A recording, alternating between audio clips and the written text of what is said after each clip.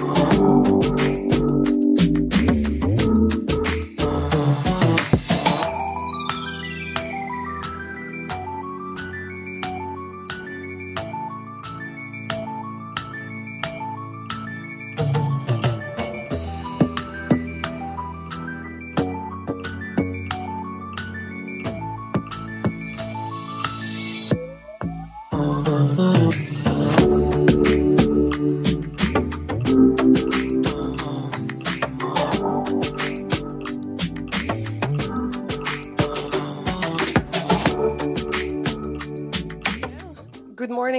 I'm absolutely thrilled to see you despite the circumstances. It's really uh, uh, exciting. Uh, I see a lot of faces right now, or I've just seen them. Um, so I'm going to do a small warm up exercise this morning for you. Please put your hands up, as in thumb up, if you're excited to be here. And there's only one option. So you can only put your thumbs up. Wonderful. It's really great to see everyone. Bonjour. Guten Morgen, hello. Um, I'm absolutely thrilled, as I said, and I'm absolutely stressed out and shaking. Um, so please forgive me if it's going to be a little bit of a, uh, there will be some moments when I will be hesitating with some words. I'm just overwhelmed. Did I ask you to imagine that on this beautiful day, you are in the beautiful city of Prague?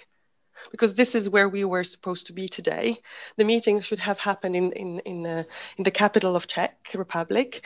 We were supposed to be meeting in person. Sadly, due to circumstances, uh, we have to use technology. But hey, uh, isn't it amazing that despite all the challenges, we can still meet and interact?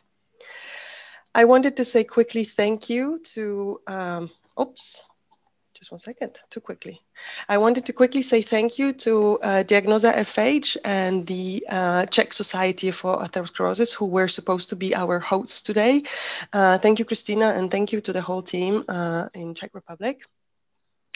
I also wanted to recognize some people who unfortunately cannot join us today and they, they excuse themselves.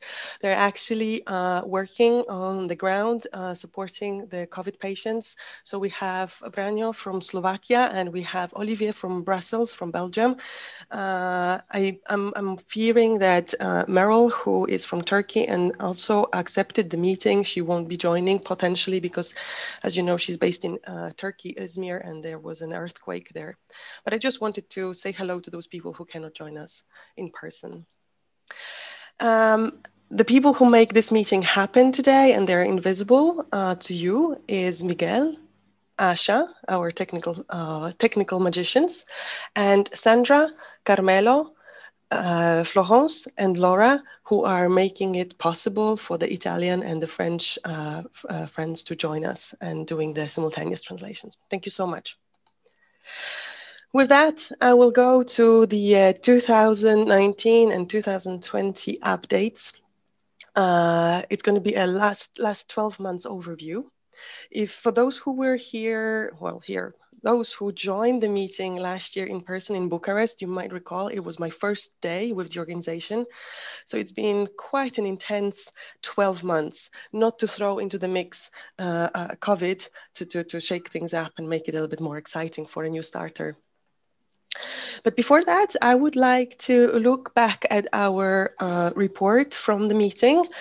Where is it that we left off, really? If you recall, uh, this is a picture from um, Bucharest. We were 29 participants at the time.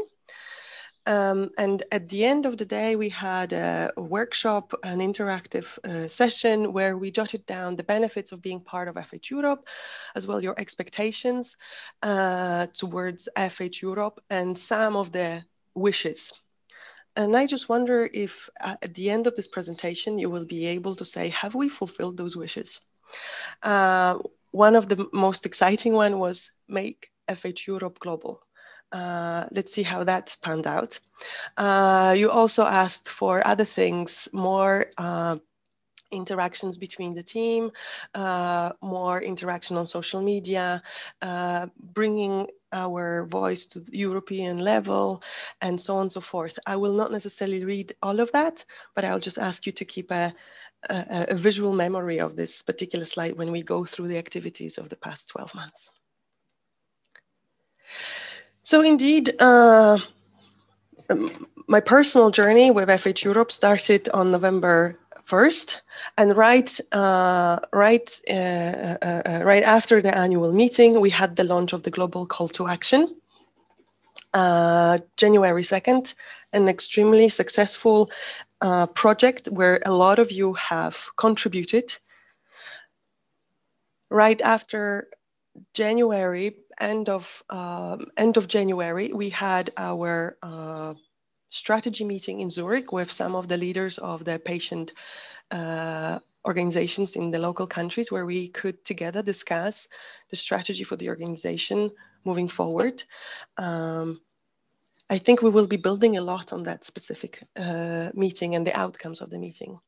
Simultaneously, I also started uh, travel around Europe as long as it was possible to meet as many as you. It was extremely important to me to, to ensure that we get to know each other as people, but also to get to know your challenges, problems, but also some wonderful um, ideas and solutions uh, that you have in your countries. Here only a, a few uh, screenshots of interactions that happened. End of February, uh, February 29th, we had the Rare Disease Day.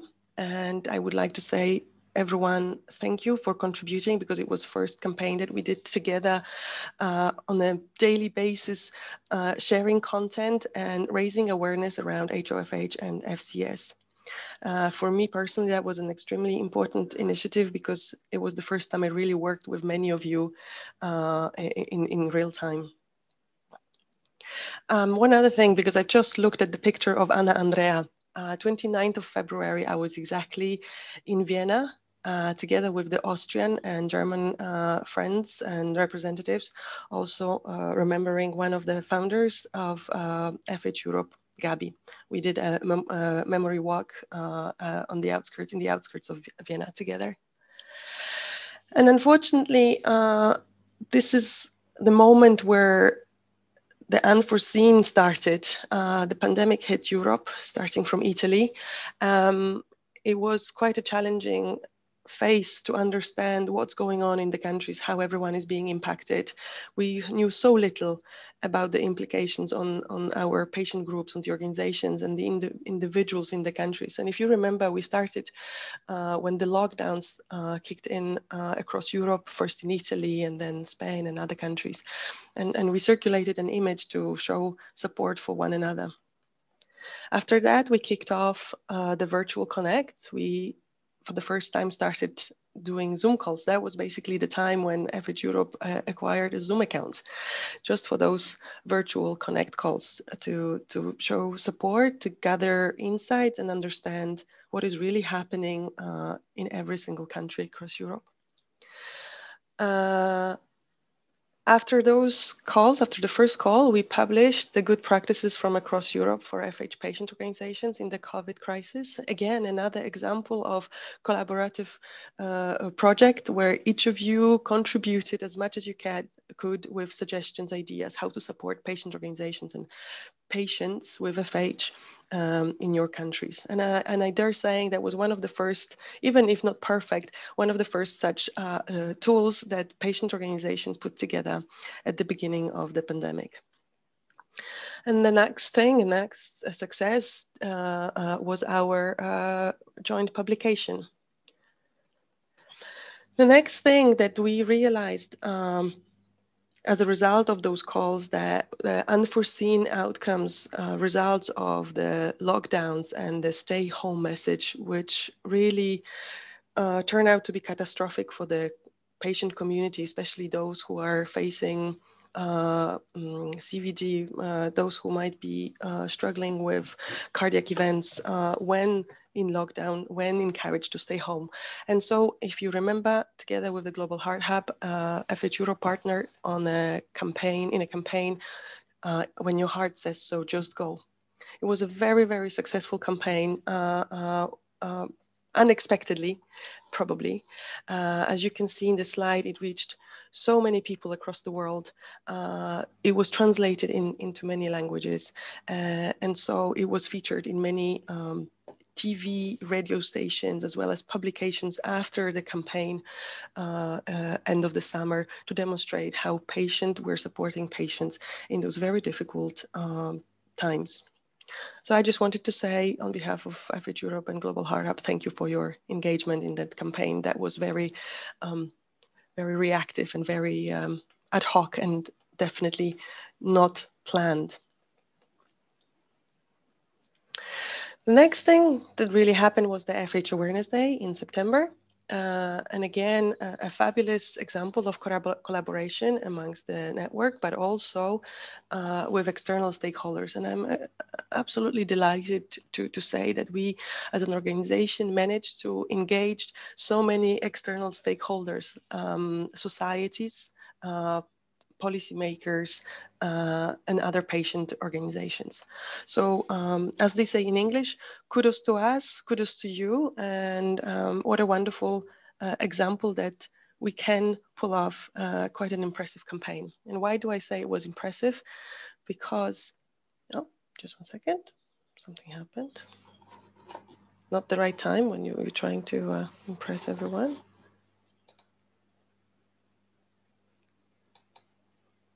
Mm. I will I will skip that bit. Why was it impressive? Because we managed to reach so many people across Europe and world with our messages. And again, I wanted to say thank you to, to everyone who contributed as much as they could in terms of uh, uh, spreading the word, raising raising uh, awareness, uh, and and using uh, a little hashtag that connected all of us across the countries.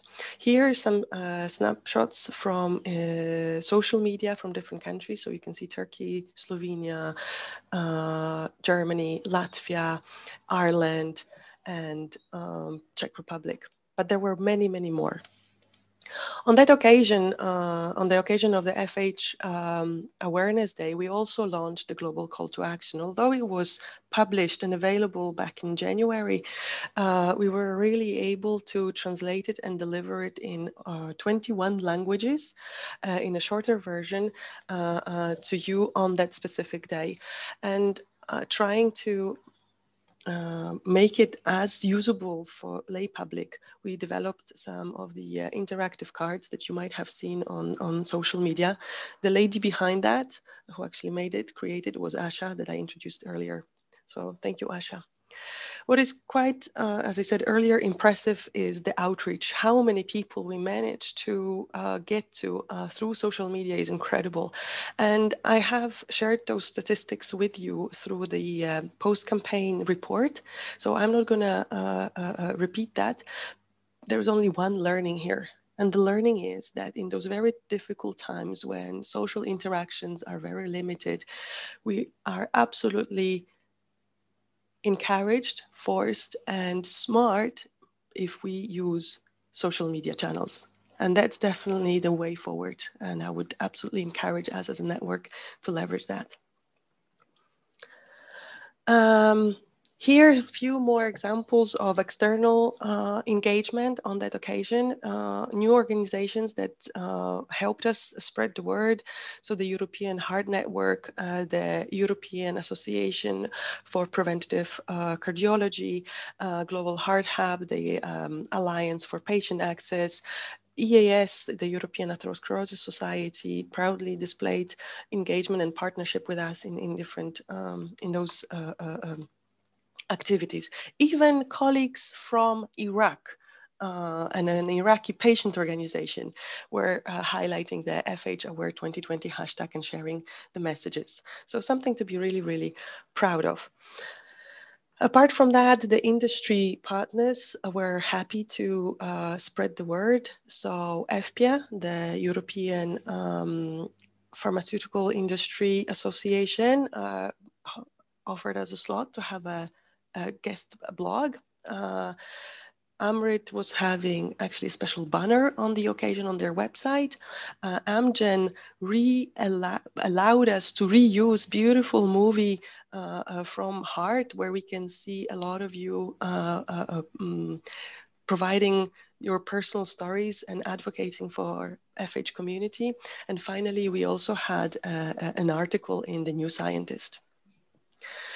And some of you came forward and offered to be social media ambassadors. So big thank you to Amaral and Bianca, who are part of our network, for uh, tweeting uh, uh, uh, all the time, tirelessly on, on, on Twitter, the messages around FH. And also another uh, French influencer, uh, um, a president of the scientific committee from the cardio Cardiovascular Prevention Institute came forward and suggested that he would be absolutely delighted to be our um, ambassador the last element uh, that was extremely successful, and I would like to dedicate a little bit of time to, to walk you through, is another pilot initiative that we did, not quite sure what the outcomes would be, but they actually surpassed our expectations, was the uh, collaboration with MedEasy. It's a startup. It's an online global community of uh, young physicians and medical students. Together with that uh, global community online and EAS, we launched um, uh, an online um, survey quiz to educate them around FH. The numbers were extraordinary. The quiz reached over 111,000 young physicians and medical students around the world. The campaign lasted for 10 days on those social uh, uh, channels, and actually over 24,000 participants took uh, uh, took part in that quiz. Those numbers, when I uh, presented them at the Global FH task force were welcomed with such enthusiasm that as a result, uh, the president of EAS offered to publish it. So um, with, with, with a group of people at FH uh, team, and they will be presented in a short second, uh, we were absolutely delighted to put together a publication that should be soon available in atherosclerosis. So once again, absolutely delighted and so happy that maybe those unusual channels that we are leveraging now uh, are helping us uh, reach one of the stakeholders, the medical community. And after after the FH um, Awareness Day, uh, I had a chance to. Uh, cette journée euh, internationale. Oh, something FH. happened here, and I can suddenly hear the interpreters. Um, is that? I think that's fixed now. Um, after that, I had a. Donc, après cette oh, initiative. I don't know if you guys ah. can as well hear uh, the French translation. Yeah, something is. Uh, let's try and see what's happening there. I will be looking at Miguel and Asha. Uh, I hope, guys, you are on the case. We're just looking into it, Magda. Okay, thank you. So maybe I will pause for one second and allow myself a sip of water. Otherwise, I will be. I'm so nervous. When I speak very calmly, it's because I'm ultra nervous. um, Florence, can you, you are on mute. So that probably, is, does that mean that it's fixed? Yeah. So I've muted Florence. I think she just had unmuted herself in this bit. So I think we're good. Okay, super. Wonderful. Thank you so much. So um, at the same around the same time, I had a privilege to represent our network and all our patient organizations at EAS at the uh, FHSC steering group, so the global FH registry meeting. And I have pulled out one slide that I presented at that meeting, demonstrating the difference between um, um, not the difference maybe, but uh, sort of a mapping of uh, where FH Europe is already present with patient organizations and where there are existing FH registries. Uh, that's in green. In red, you can see countries where there is no patient organization that's collaborating with uh, FH Europe, but there is a registry, so uh, we should be absolutely uh, uh, getting involved and trying to help, if, if, if needed, set up patient organizations. In the meantime, since, since that presentation, I can tell you that actually Slovenia and uh, Slovenia is now uh, a member of FH Europe, and Ukraine actually has got a patient organization. Um, and then in yellow, I have marked countries that have a certain relation to FH Europe, but it's semi loose and maybe we need to make it up. And and and right after that presentation uh, slovakia you can see here is in yellow. For the first time i had a wonderful call and a great uh, discussion with branyo from uh, from slovakia. So that should now be absolutely green and finally, one country, surprisingly, and we have Alexander now on the call, um, is Sweden. There is a patient organization, but actually there is no registry that is uh, at least not involved with the global FH registry. And in between uh, those uh, opportunities to, to, to raise our voice and, and raise awareness, uh, there was also the World Heart Day on September 29 uh, by the World Heart, uh, World Heart World Heart Federation, and we were leveraging that opportunity and their toolkits to, to raise awareness around our conditions. And a day later, uh, we had an opportunity to advocate together with uh, one of uh, our patient ambassadors around LPLA. So um, um, we were having a Twitter chat, a live Twitter chat. And only uh, last week, uh, FH Europe, and that was as a, a bit of a surprise. So uh, I haven't necessarily involved you as a network. There was um, uh, um, the FCS uh, Awareness Day yesterday. So over the past days throughout the week, we were posting information around the condition and um, how how to live with that, and sharing some testimonials of patients. So now I will pause and ask quickly, Miguel, how are we doing time wise? Because I'm feeling that we are, I'm overrunning a little bit. Just a little bit. All right, then. Thank you. This is such a diplomatic answer. so I will swiftly move to the next part of this presentation. I am, um, I am really, really pleased, really, really happy that um, FH Europe was able to build on uh, previous uh, successes of Jules and, and other trustees in building new partnerships and memberships. And since since uh, January this year, um, that was the basically the in, in, back in January we had uh, an opportunity together with Jules to meet with uh, leadership of EAS FHSC in London with Professor Kausik Ray and his group to reiterate our willingness and, and keenness to collaborate with the with the global registry. Since then, we also signed a partnership agreement with Screen Pro FH. It's an organization in uh, Central, Eastern, and Southern Europe. And we have guest uh, speakers today, uh, Lucy and Tatiana, who will tell more about this organization and how can that enhance our efforts. We've been collaborating with the Global Heart Hub. We became uh, a member uh, of World Heart Federation and also a member of EURORDIS, for those who might not be aware of uh, It's the rare disease uh, uh, um, now pan, pan, it's actually global, beyond European patient organization. Also, uh, we've been invited to join EFPIA Patient Think Tank, and uh, we have guest speaker Sofia, who will be explaining more what are the benefits to us uh, in, in efforts to collaborate with the industry uh, around FH and other conditions.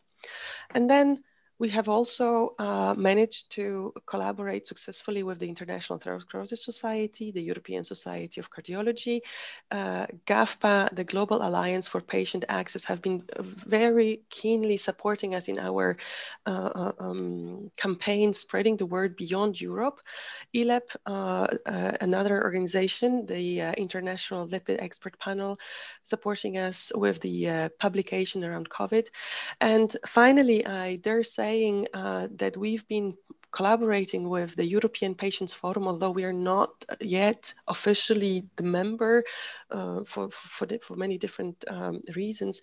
But um, uh, this is a, a very influential uh, patient organization based in uh, Brussels that helps um, organizations like ours uh, bring our voice uh, uh, uh, and, and, and collaborate, maybe um, get attention of, of the European Council, the European Commission, on all the European bodies in, in Europe, in the European Union. the, the reason why, why, why I, I put that logo there is because I had a uh, privilege uh, uh, to get accepted into um, leadership and governance training that lasted six months. So we're still benefiting from that organization quite a lot.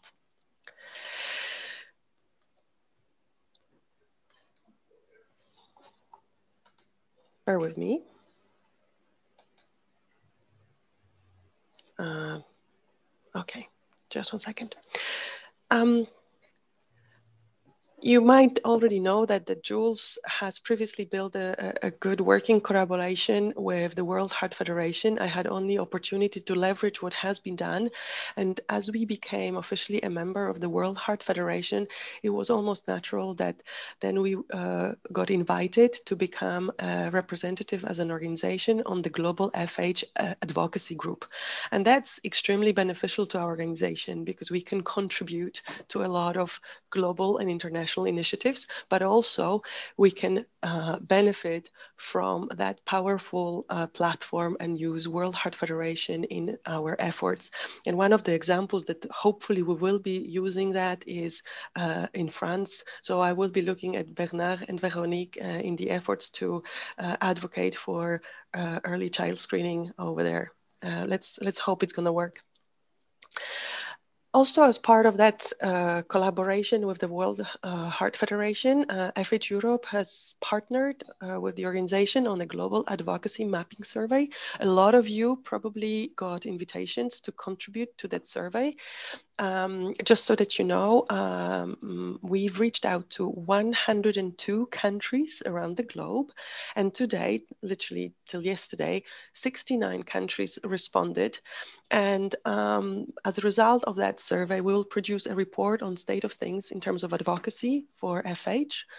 And uh, there will be as well publication. So all of you who have contributed, thank you so much.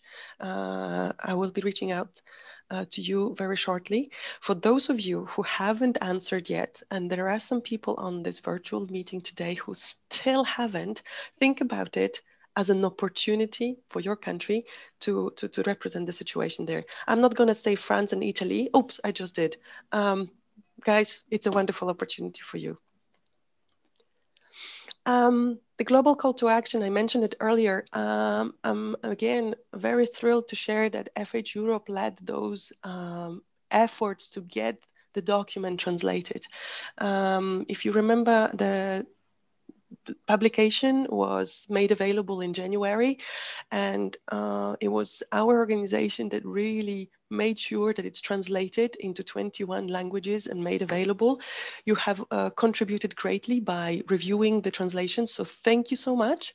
The initiative, the, the, the idea as well um, in the document that's available on our website uh, to download in a Word document was to make this document non-branded in Word format so you can use it. You can make it yours the way you need it, add your references, add your logos, and leverage that global effort for um, your policy and advocacy efforts in your countries.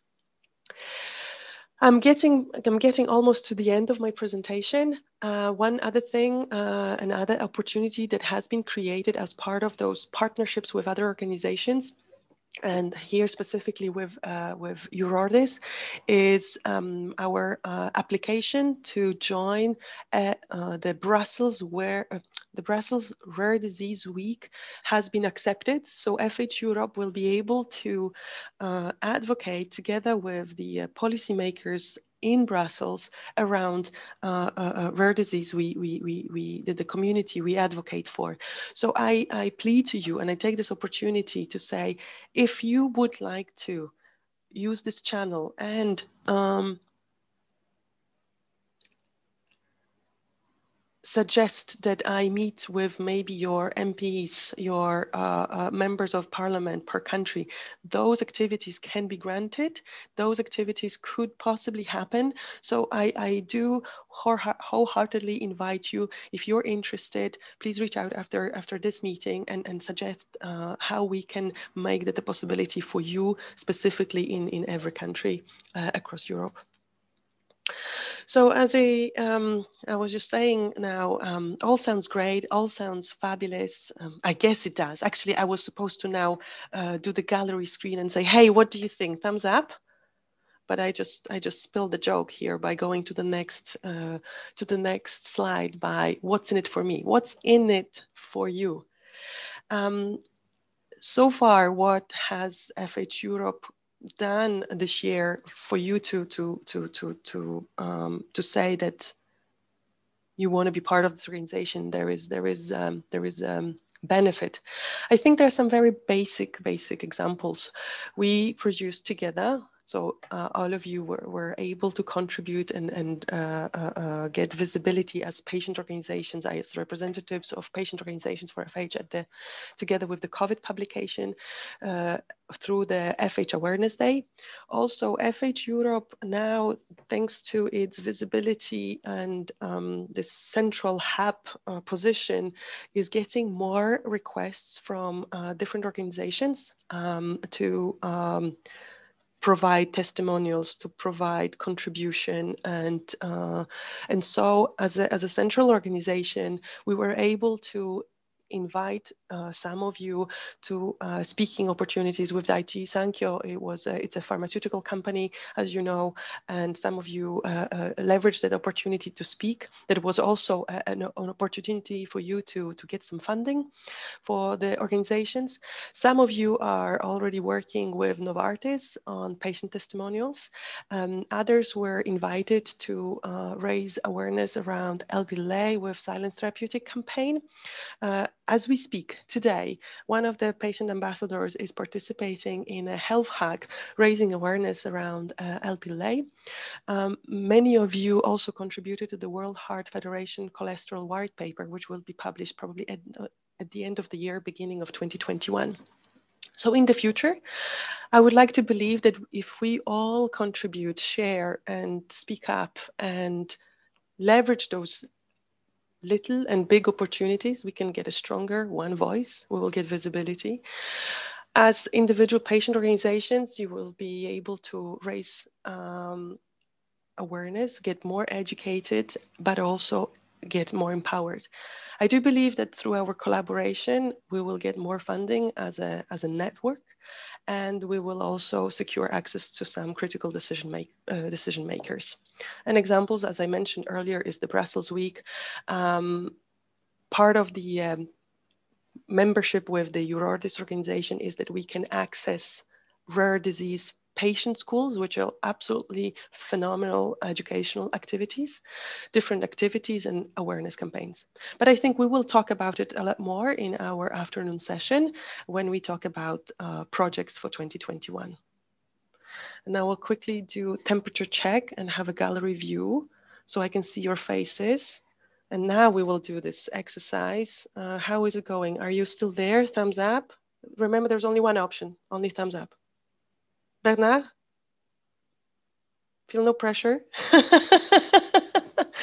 Thank you so much. Okay. I think um, very important updates because there's a lot of new people joining this call today, and some of you might wonder why. It's important to to um, to understand FH Europe organizational structure, the long-term sustainability and development. Um, as you remember, hopefully you do remember, back in March and April, we reached out to you through emails and through social media and also on our website, uh, advertising for opportunities to become uh, uh, a trustee with FH Europe. And um, there were some there was some feedback. Unfortunately, there hasn't necessarily been enough interest from the network to to bring more of the network representatives to join the board. And what I realized over the time, speaking to you afterwards with some of you, uh, many of you still didn't necessarily um, understand what the implications of being trustee, uh, what the implications are. And I think for many of you, having seen uh, Jules and Gunnar and Ines uh, and other people uh, uh, who were on the board before, it might have looked like a lot of work because those people were so actively um, involved traveling and working very, very hard. And I guess many of you were too scared maybe that on top of your daily work and private life, you would be getting yourself into yet another full-time job with FH Europe. So I do I do appreciate it, and I think it's going to be our uh, job to communicate better and make sure that there's an understanding and appreciation of the potential that being a trustee brings to you and your organizations and the whole community. So after the ad, um, recruitment process, um, we have identified some uh, phenomenal people from around the world, and it is from around the world beyond Europe. So, uh, in line with our constitution that allows nine trustees on the board, and at that time we had Jules, who was uh, the chair and still is, Gunnar, uh, John, and Inessa. We identified uh, five more people. Um, so you can see here uh, in the pictures, and you should be able to see my uh, cursor, uh, Marius, Joe, Sam, Dorota, and Giovanni. Those are our new trustees that joined the organization as of um, April, and they will have a chance in a second to present themselves before that, I just wanted to say that Inessa, due to her uh, personal commitments and um, ambitions to, uh, to, to deepen her expertise and knowledge, she uh, uh decided to uh, take a, a, a, university program, and unfortunately uh, had to step down from the role. Nevertheless, th- that her time with FH Europe was coming to an end in January, so it was just a, a matter of time. Also, Gunnar, after working for for I think Jules, correct me if I'm I'm wrong, four or five years now tirelessly for the organization, is really, really keen to, to, to step down and, uh, as Jules always says, pick up golf again.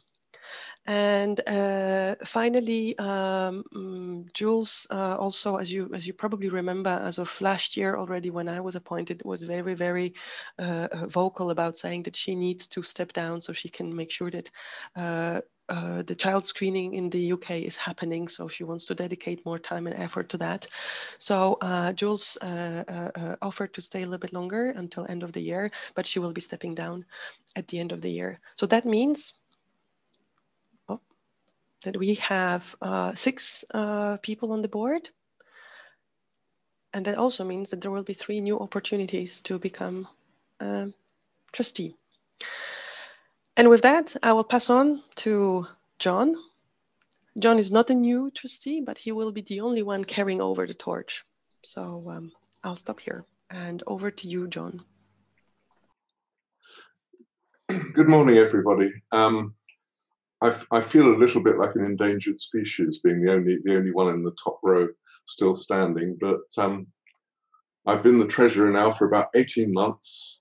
Um, I'm from the UK and my background is in management consulting. I was a partner with Deloitte for 20, 25 years. And as part of that, I had a, a number of global and international roles, including the, um, the technology consulting lead for Europe, Europe, Middle East, and Africa. So I'm, I'm quite used to working around Europe. And that's one of the reasons why I think um, Jules thought it would be useful for me to, to have a go at this role. I've known Jules for, for some years as a, as a mentor, through my um, my charitable work through the um, delivery company of management consultants, and um, got to admire very much the work that she's done in the UK. And um, as that was coming to an end, she felt that it would be good for me to um, use some of my expertise in FH Europe. I think, you know, to me, the, the vision is the most important thing is, you know, FH Europe as the voice of FH in Europe and obviously related conditions too. I think being seen as the, the leader for policy and advocacy in FH is, is where we need to be. Um, I have a reasonable grasp of languages. I mean, when I have a little bit of practice, my French is quite good. I can read some German, Italian, Spanish, and so on, a little bit of Russian, um, Latin, and, and a bit of Greek. But, okay, um, that's not, nobody can beat that. No, but it's not. It's not great. I mean, I, I did Latin and Greek and French at school, but um, the rest I've picked up as I've gone along. But I'm, I think I'm quite good at languages, but I never get any practice because as an English person, everyone wants to speak English. People, you heard that? Anyone who wants to practice French with John, that's your opportunity. J'écoute. no. Continue on. okay. And my personal thing is I'm I'm an amateur musician. I love it. I'm a trustee of a period instrument orchestra, the Academy of Ancient Music, and that's um that's the other great thing in my life, apart from my family. Wonderful. Thank you so much, John, and thank you for being such a great uh, supporter uh, on an almost daily basis. So um, thank you. Over to uh, Joe or Joanne Taylor. Hello, everybody. It's nice to meet you. Yeah, I'm Joanna Taylor, but most people call me Joe unless I am uh, uh, in trouble for something. So hopefully I won't be. but um, yeah, so I'm uh, British, um, but I've made my way to Switzerland through seven different countries over um, over the course of my life, um, and now I've been in Switzerland for the past ten years. Um, I'm a uh, current partner at another management consulting firm. So still still a long way to go before I retire, John. But uh, but uh, yeah, certainly active now and focusing very much on the health sciences and wellness industry. So uh, I actually work on the intersect of business and IT and, and how companies can sort of use new new tech to address business challenges and and support their digital transformation and add value to uh, patients and uh, and um, the organizations. So uh, um, I also am a I have a PhD in um, global e-health. So uh, I'm a published researcher on the use of social media by patients with non-communicable diseases.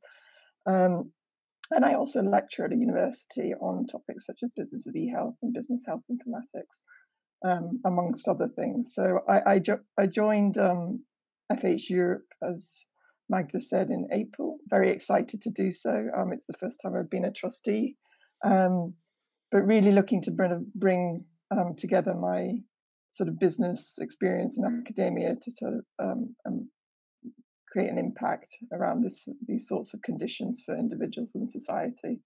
And uh, my vision is really about trying to increase awareness, diagnosis, and treatment of, of these sorts of conditions, and and how we can influence that um, across the, the network and also within the ecosystem of of uh, different uh, stakeholders that are involved in in in this um, in these conditions. I am um, I am I speak English, although a bit like John, I kind of I've dabbled in different uh, in different languages over the years, but I wouldn't claim them to be um, uh, proficient at all. But I have done Arabic, I have done uh, Spanish, German, Dutch, um, Thai, um, lots of different yeah, lots of different languages. I can count to ten in many, but not very uh, proficient in any of them. So uh, I have something, I guess, a bit personal to me. I've got two young children, and uh, um, I, I know the trustees. Whenever we have a meetings, and my colleagues at work often get to experience them on a regular basis as they participate in our uh, in our um, discussions and Zoom calls. So they may make an appearance today. But it's uh, it's very nice to meet you all. I'm very much looking forward to the discussion later. Thank you so much, Joe. And by the way, uh, I ask everyone not to show off. And now I am discovering that we have Joe who speaks Arabic. Amazing. No, no, no. I, I wouldn't classify it as speaking. It's more phrases and certain things. I can get by. Wonderful. Now over to Sam, and as you know, um, no, sorry, you might not know. Um, so we have uh, Sam Gidding who joined our organization. He is the senior co-author of the Global Call to Action. It's an absolute privilege to have uh, such a wonderful board, and among uh, the board members, uh, uh, uh, an expert in the in the disease. Sam is based in the U.S. and he was not able to join at this very early hour. He left us a personal message message over video. So I just hope it's gonna play now.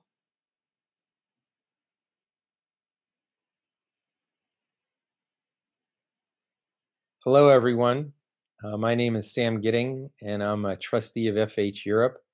And as a trustee, I also co chair the Scientific and Health Policy Advisory Group. I live in the USA, particularly in Vermont, which has the lowest COVID 19 rate in the United States.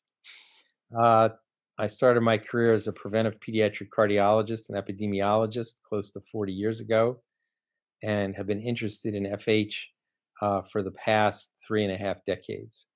Um, after I retired from clinical practice, I had a career in FH advocacy, being the chief medical officer of the FH Foundation for one and a half years.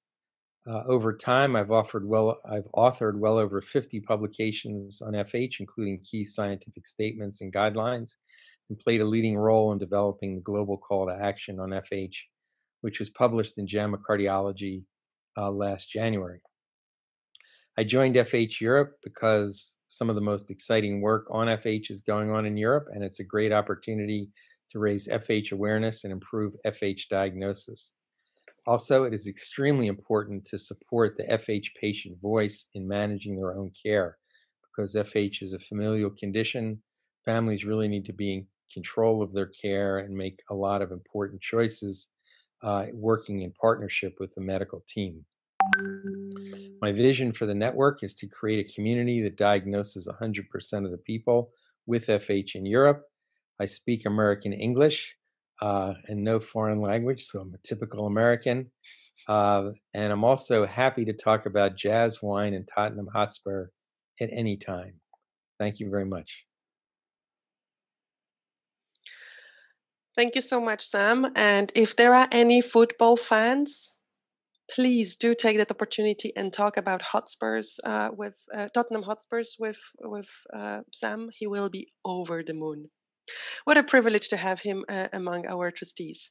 And now over to Dorota. So, hello everybody. I'm extremely excited to be here and to meet all of you, at least in such a way. So, my name is Dorota Zgutka, and Magda, thank you for introduction already myself also as a new trustee. Uh, so, what I can tell about myself is uh, since uh, 12 years I am living in Switzerland.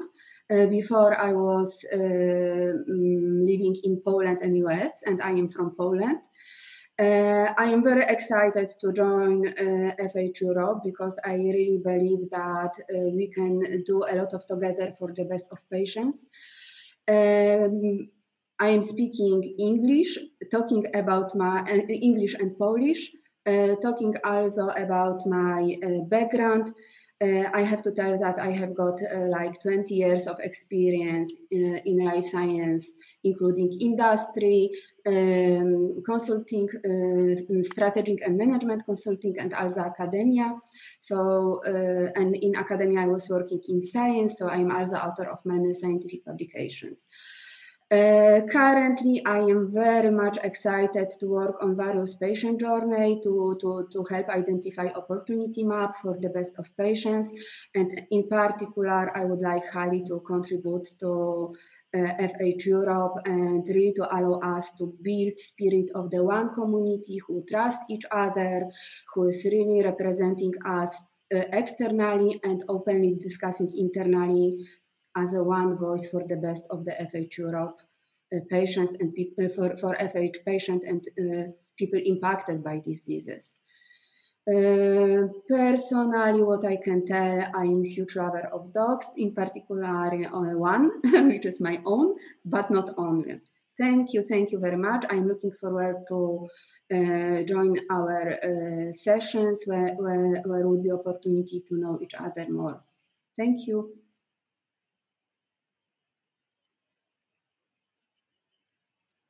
Wonderful. Thank you so much, Dorota. And uh, thank you, Giovanni, for letting me know that I was overzealous to see everyone in a gallery view and stop the presentation. So, but Dorota has absolutely nailed it in terms of sharing her profile. Next, um, either making a joke is um, Marius. He's the only one who has not sent me his profile, so I filled it up for him but he's excused because he is an extremely no very important person. He is our very own celebrity. And he will explain in a second why i'm sure. Over to you marius. Oh my god. Uh, thank you thank you so much uh, magda for for the introduction. Um, indeed this year i'm highly involved in uh, uh in romania in the covid story and my colleague, colleagues just told me that uh, I give more than 200 interviews this year for television and radio stations and uh, websites and newspapers and, and so on. and I'm doing this because I I uh, try somehow to to set the uh, the agenda around around science and um, uh, the right expectations when it comes to the management of the, of the COVID with the testing and vaccines and drugs and uh, and so on. Uh, my role uh, uh, at FH Europe is uh, as a trustee and the co-chair of the Scientific and Health Policy Advisory Group. I'm from Bucharest, from Romania. My background is a medical doctor.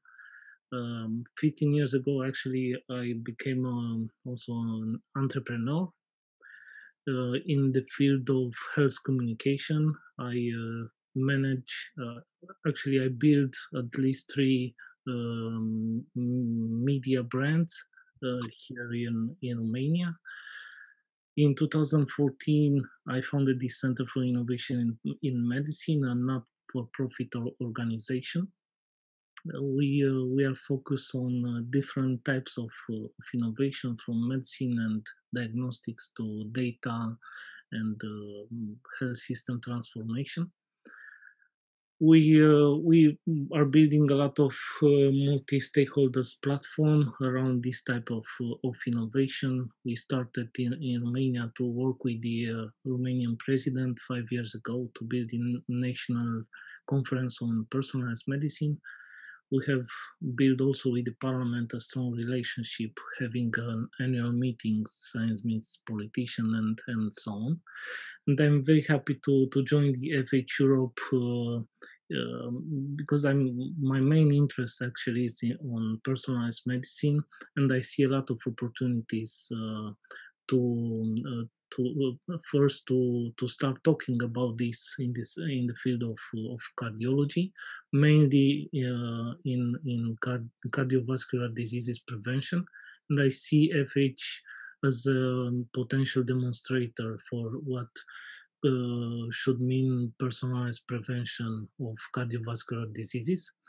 I speak Romanian, English, a little bit of French. I understand some words in in German. Uh, I can read Italian and Spanish. I can also understand some Russian words. Uh, and something very personal for me, yes, uh, I'm in this context. I um, I'm a figure on on on the media, but I may say that uh, actually the uh, highest uh, audience that I reached was uh, about ten years ago, being a sport journalist, uh, actually a football journalist, and um, at that time I worked for uh, for for a sport journal and uh, I was currently invited to television to discuss around uh, different uh, football matches and and uh, so on. Thank you so much. I love those meetings because there's always something new that I learn about our new trustees, and I hope uh, it's been interesting for, for the rest of the people around the around Europe, around our virtual table. Last but not least, it's my great pleasure to um, introduce um, Giovanni, and I'm sure that the Italian and French-speaking community will be absolutely thrilled. Giovanni, over to you. Hello, can you can you hear me first of all? Yes, we can hear you. Thank you. Just to go back to Miguel's point, uh, I'm not muted. It's a, it's a great pleasure to be here to meet all of you. So my name is uh, Giovanni Nisato. I'm a trustee of FH Europe, one of the one of the new ones. I am originally from Italy. That's where I was uh, born, and I'm currently living in Switzerland. In the meantime, I I moved a bit, and uh, um, I'm writing down the countries that I've been living in for a significant number of years. Uh, I'm actually a citizen of two continents. Uh, I'm also a citizen of the US. So I tend to look at the world as uh, one place and uh, with uh, close to 8 billion people living in it. FH Europe is an organization that spans uh, close to 900 million people. And as, as Magda was showing to you, it's already networked with many others. So um, I tend to look at um, the place where we live in as, as one, and it's Earth. As a background, so um, I have a PhD in physics. That was a long time ago, and uh, in the meantime, I worked as a technologist, research scientist, project manager, and innovation manager in different functions in different companies. I'm currently building my own company, so you can qualify that as entrepreneurship. And uh, one of the things that I'm very passionate about is uh, connecting the use of uh, technologies to solutions that help people. And in the middle of this, uh, citizens, patients are very important to me.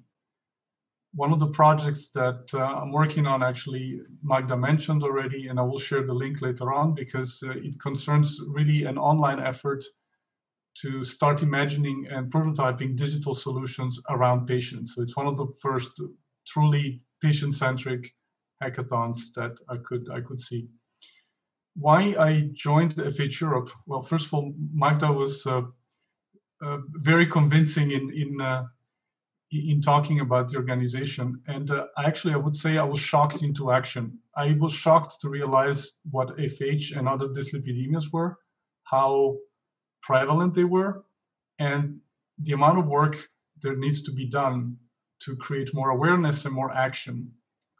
So I basically joined uh, to learn and to serve from the citizen patient perspective to see what does it look like and see where I can what I can do to help.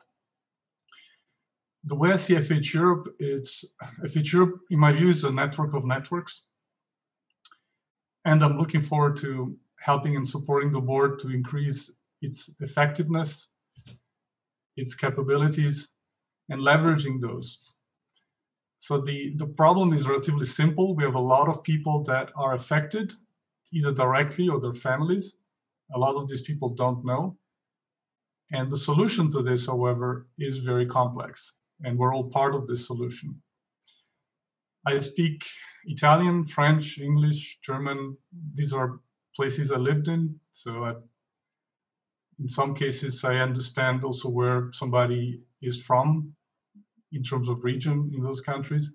I've had exposure to other languages. Uh, language is a bit more than speaking, it's also how people think, it's a culture. And uh, depending on the day, I wear different cultures. And uh, something personal about me, uh, I sing. I'm, I'm, so this is an amateur, amateur thing to be clear, but I sing in an uh, a cappella choir here in, uh, in Basel. I live in Basel, Switzerland. And um, it's something that brings me uh, a lot of uh, joy. And it's a bit difficult to do it nowadays with COVID, but um, yeah. Looking forward to talking with you. My job today is to be here and listen. Wonderful. And thank you so much, Giovanni. And I just wanted to say, Giovanni, thank you for being here, knowing that there is the international online hackathon running in the other virtual world right now, but you are here with us.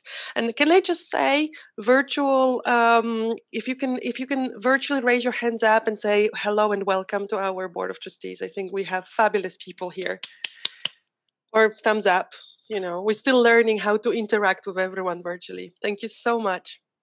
Wonderful. Um, and it's a, my great pleasure to hand over to one and only, uh, the only woman who could wear two hats, three hats, uh, chair of FH Europe, former chief executive of FH Europe, and also uh, uh, chief executive of Heart UK. Over to you, Jules. Thank you. Wow, what an introduction.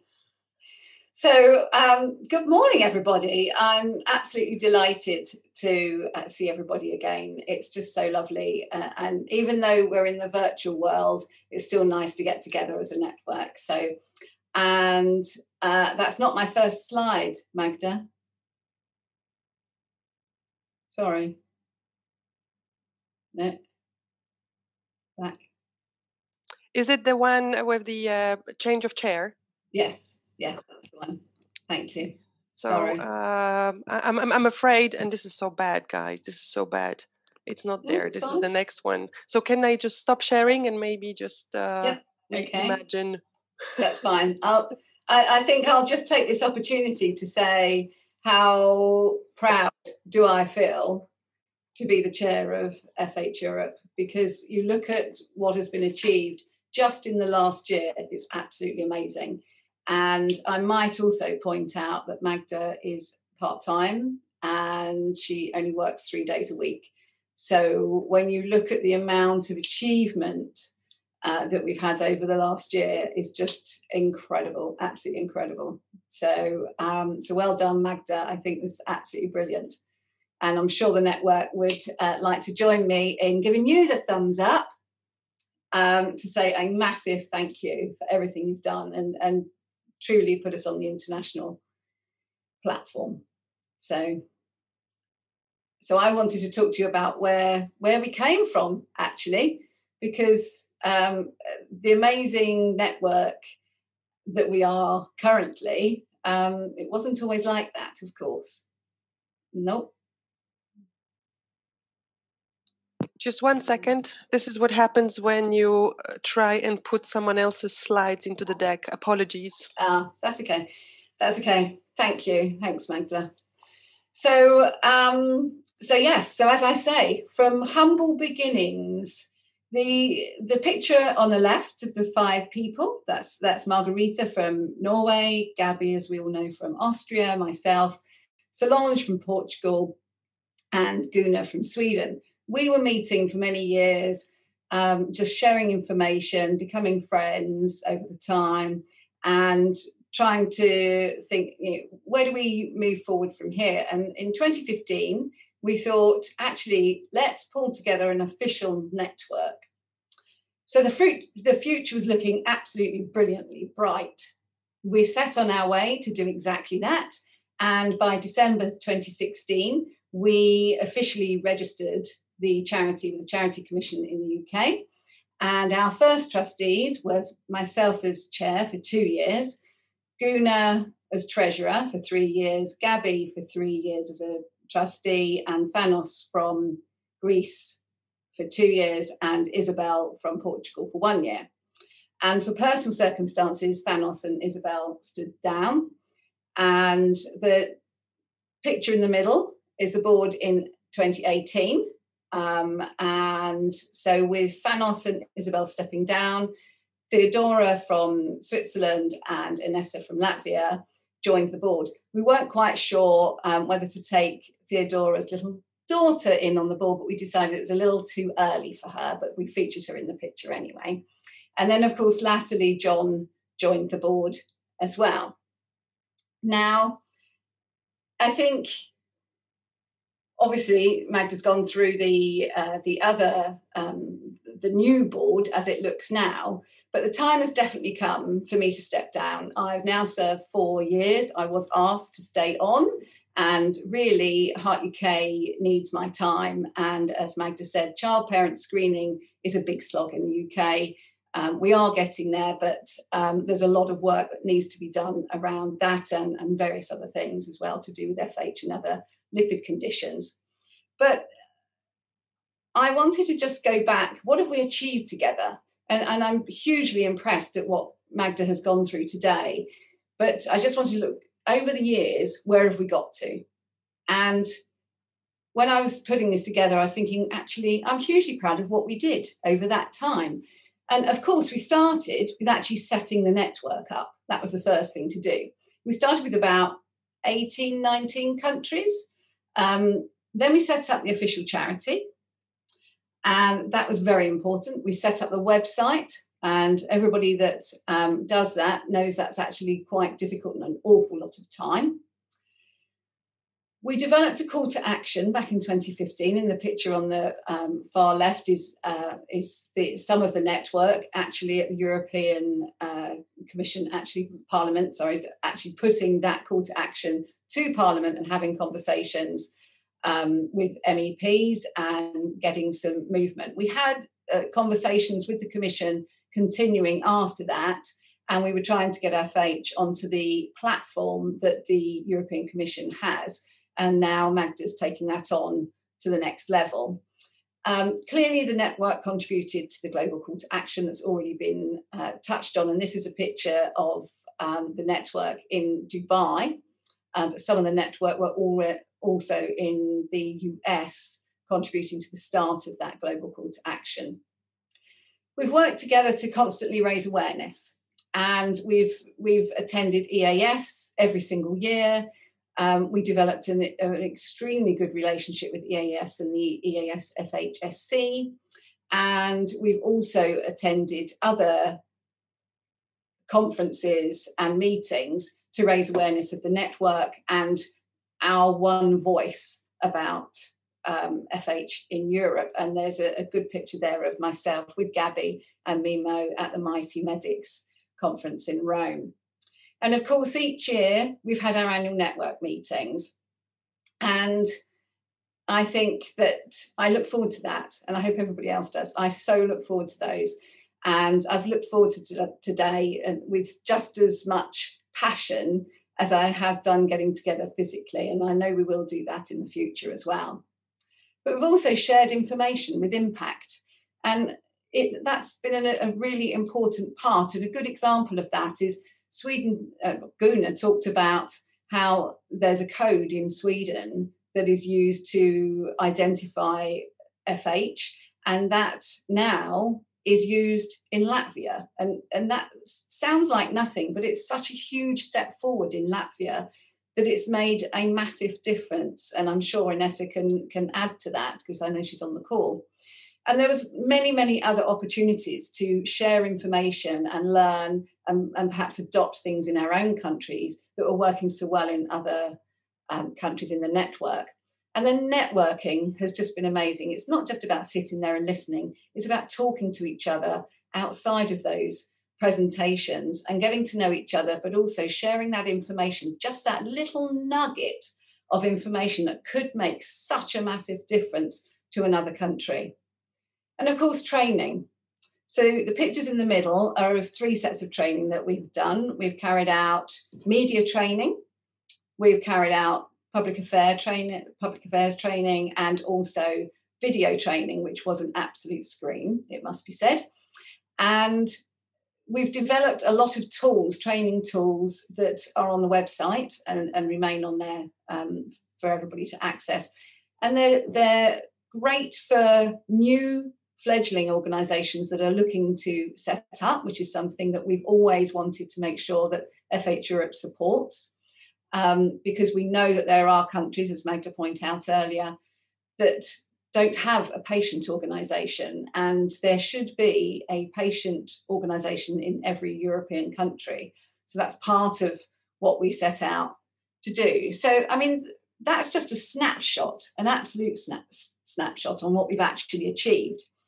Um, and I would like to recognise, even though Diana Maxwell is not here, many of you knew her, she was a huge impact in, in helping me to actually pull all this together and, and get all that work done. But we're in a new era. We've brought in a new chief executive to run the organization. And in Magda, we have the right person to really push forward this organization. And I think she's doing an absolutely great, great job. And the future definitely looks very bright for us. So I'm handing over to, to Giovanni because he's actually our chair elect. And I'm really proud to say that he's taking over from me on the 1st of January 2021. So, Giovanni, would you like to say a few words, please? Thank you very much, Jules. So, I've already said a few words uh, during the introduction round maybe what I can add now is that I look forward to the transition period because there's a lot uh, that has been going on. So I'm still on a steep learning curve.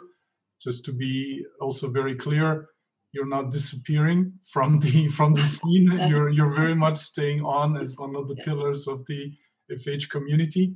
And uh, maybe for the members here, uh, there's going to be a few weeks, couple of months time between now and January. So I will be in constant contact with both Jules and Magda to make sure that uh, there's a smooth transition. So there's no nothing changes day to day, and uh, I'm also looking forward to working with uh, all the trustees in, in the board to. Um, this is just to be very clear. Uh, it's a it's a huge honor to be working with this team. So the way I see it is, I want to make sure that we can do as well as a team as possible.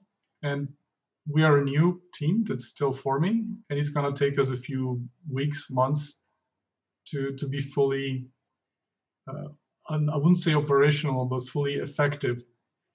We are operational now, but there's a lot of potential. And I'm very much looking forward to that. So, as I said earlier, it starts today by listening and uh, and uh, in the future to communicate back with all of you that are here today how we can be a better and stronger network together. Thank you, Giovanni. Thank you, and and welcome not just to the board but as chair. And I'm sure the network um, will welcome you with open arms as they have done with me and be very supportive of you too. So good luck in the role as, as chair from next year. So I look forward to working with you in that uh, in the um, intervening period. Thank you. So Magda, can you move on one slide, please? So um, so as Magda highlighted earlier, um, I think we need to be clear in, in terms of what is the difference between uh, what a board of trustees do and what the chief exec does. And I think in the past it's it's become a little bit blurred because I kind of did both roles. Um, and so it's delightful to, to bring Magda in to have some proper um, dedicated focus as a chief executive. Um, so trustees, uh, it, it's, it's a very clear delineation um, between the two. So the trustees set the strategy with the chief executive, of course. They approve the operational plan and they approve the budget.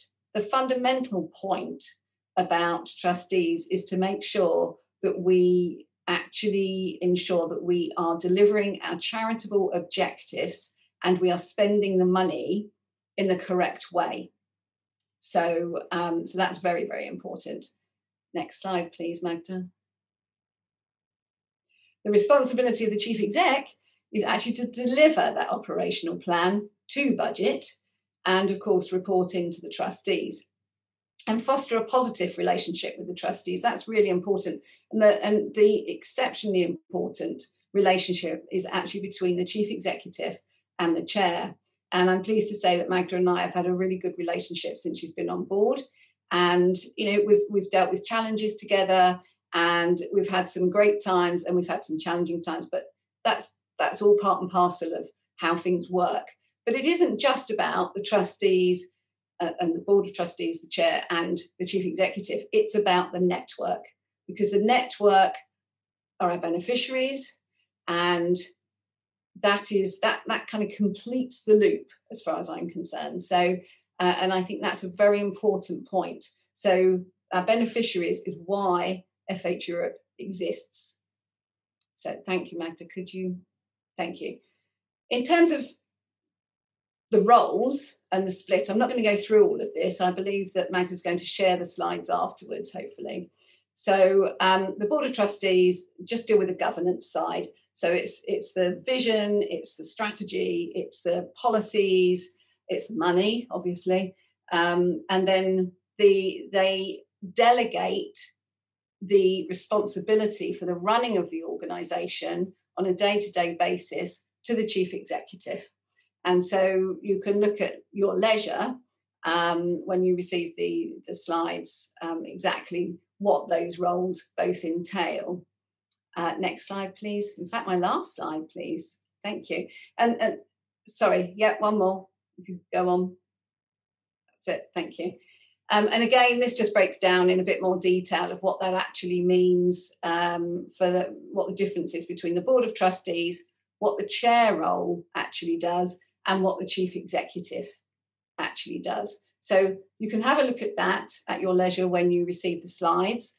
And uh, this is actually my last slide as chair of FH Europe talking to the network um, at this meeting. So I think that really just leaves me to say uh, how honoured am I to have been chair for four years of FH Europe, taking it from a thought to develop the network to what it is today, and and having developed the board over the time and with the new board and certainly Magda at the helm, I know that we absolutely have the the, the team to take this organization forward onto the next level, which is very much needed. And I'd just like to thank everybody, all the network, the trustees that have served with me over the time and up to today, and of course to recognise the contribution of Gabby, um, who we lost last year, and uh, the contribution that she made around the world, and a huge impact on the board as well as the network. So, um, thank you, everybody. Thank you for giving me the honour to chair the network over this time. And I am going to step down and become a network organisation, and Heart UK will always, always be part of FH Europe. And of course, FH Europe will always be in my heart, as we all. Thank you very much. Thank you so much, Jules. And I think now we can all unmute ourselves and really give Jules a round of applause. So come on, guys, let's do it. Jules. Thank you. Thank you. Thank you so much, and thank you for giving me that opportunity, and thank you everyone for for having me. Um, there might be a ring at your door any minute now, Jules. It's not the TV. It's something else. So please Oh, stay alerted. Okay, And, thank um, you. Oh, thank you. and I will just, it was, it, you know, the timing is always crucial. So I will just carry on with the presentation. Okay. Thank you very much. Whatever that ring the door is, thank you. I, I wouldn't expect anything, but thank you. It's it's fun. I've Don't, don't spoil the, don't spoil the surprise because you don't even know what it is. Okay. Wonderful. And with that, uh, ladies and gentlemen, it's already a tradition at FH Europe that we are behind time. We have overlap and overrun a little bit. So, what I will quickly do is ask you Are you okay if I whisk through the slides? We should be having a break now, and I understand how important the break for mental and physical health is, especially if you spend so much time in front of the TV, um, the screen. So, um, give me a few minutes and I will just go through the remaining slides and uh, finance presentation that John has kindly recorded for us. Is that okay? Thank you. I like that one way collaboration. All right. Um, so uh, Jules has kindly mentioned about beneficiaries and the importance and why the organization has been created.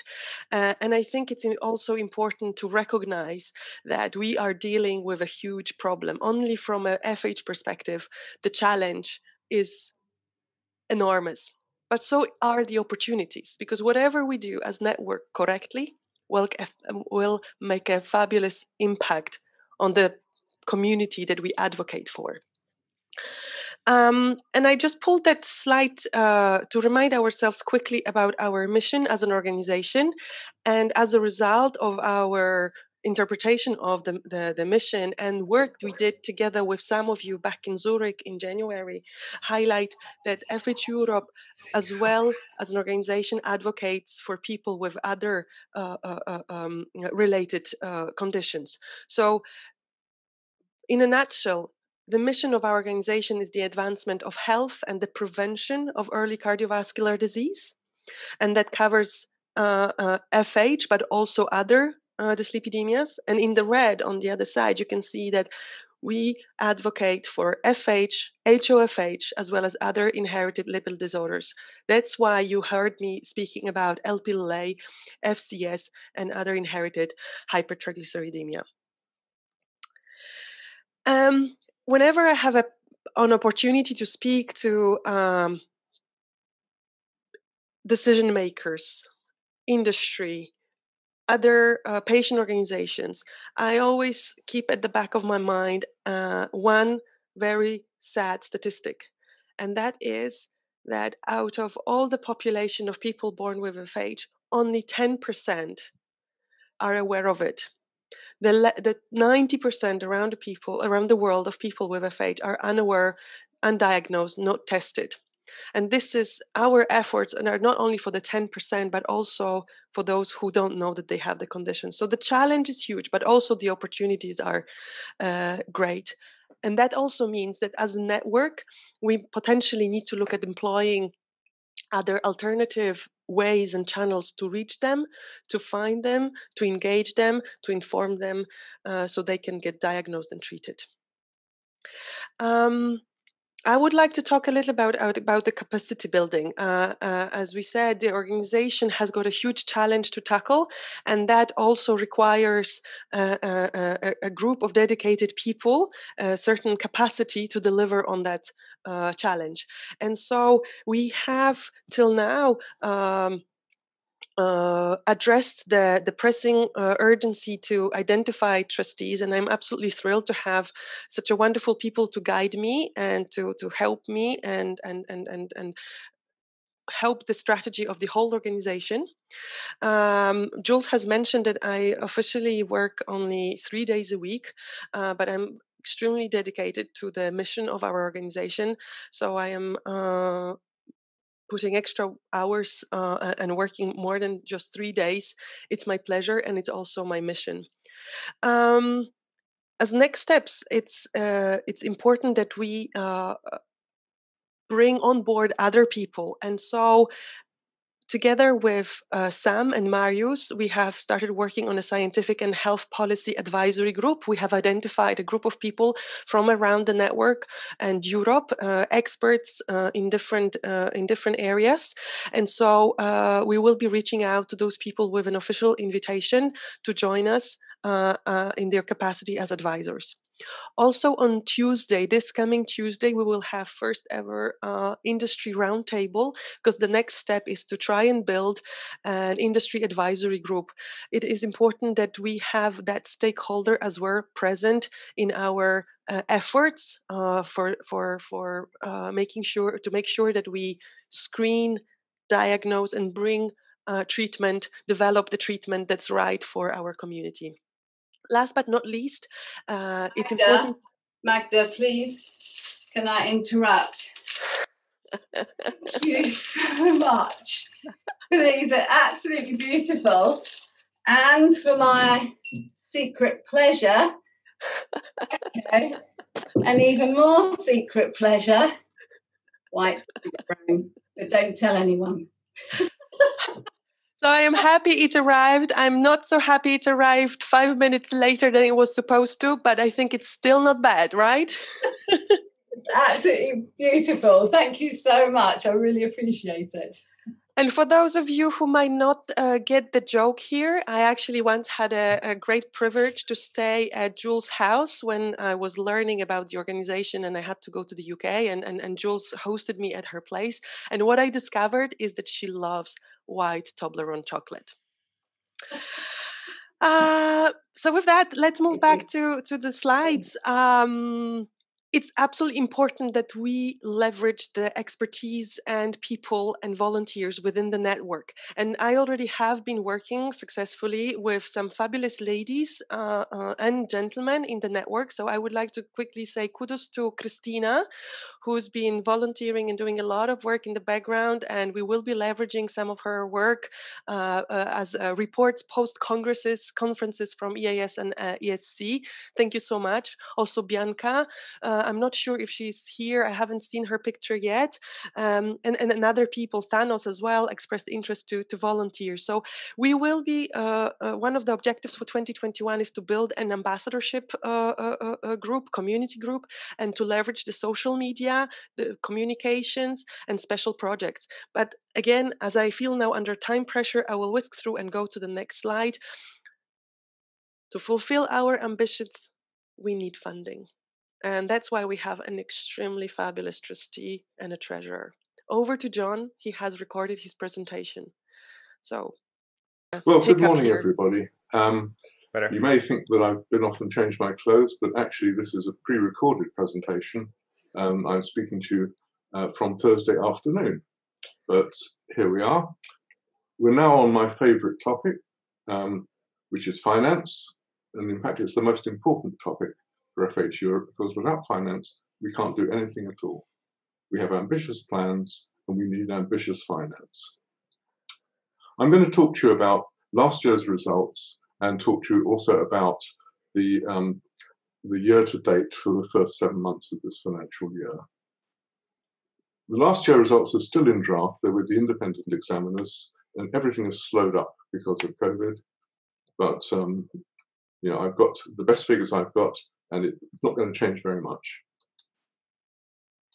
So here we are. Here's the draft results for last year, ending in February. The comparison here is with the previous year, and you'll see that um, the sponsorships and donations income, the income line, has really not changed very much at all, um, which I suppose is good news in a way. Um, it certainly hasn't gone down, which is great, but the expenditure has gone up because we have much more to do now. Last year was the year in which we recorded Magda, and we have some of her costs in here, and you'll you'll know the impact that she's made, and realise that we we have to keep funding this. Um, the deficit last year was 33,000. Now that's okay because we had a large reserve coming into the year, and we'd always planned to get the reserves down to something more like six months expenditure, which is a more prudent and sensible reserve. Um, but you see, the expenditure was up 50%, so um, we can't go on like this. However, good result for the year. In order to um, to understand that, let me show you the donations that we had. So you see there were three major donations from Amgen, Amryt, and Sanofi, and a small sponsorship from Euromedics for a meeting. You know, very good for the year, but we need to do better. Turning to this year, here's where we are now. Now, we plan to move our year end for this year, so the year will in fact be 10 months rather than 12, and this is the first seven months of that. The sponsorships and donations and the income line are pretty much the same as last year. It may not look it, but on a, on a 10 month basis, our forecast is that we will come in for about £90,000, which is month, a monthly amount similar to last year and the year before. Um, the expenditure will be higher. This expenditure does not have the cost of this meeting in or anything like that. And so while it looks like we have a healthy surplus here of 11,000, that will not continue.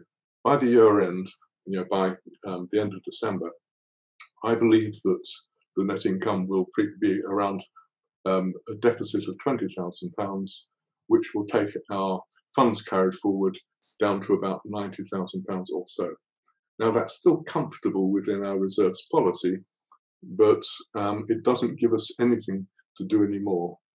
Um, and it certainly doesn't give us the ability to fund much more activity along the lines that we'll be talking about later in this meeting.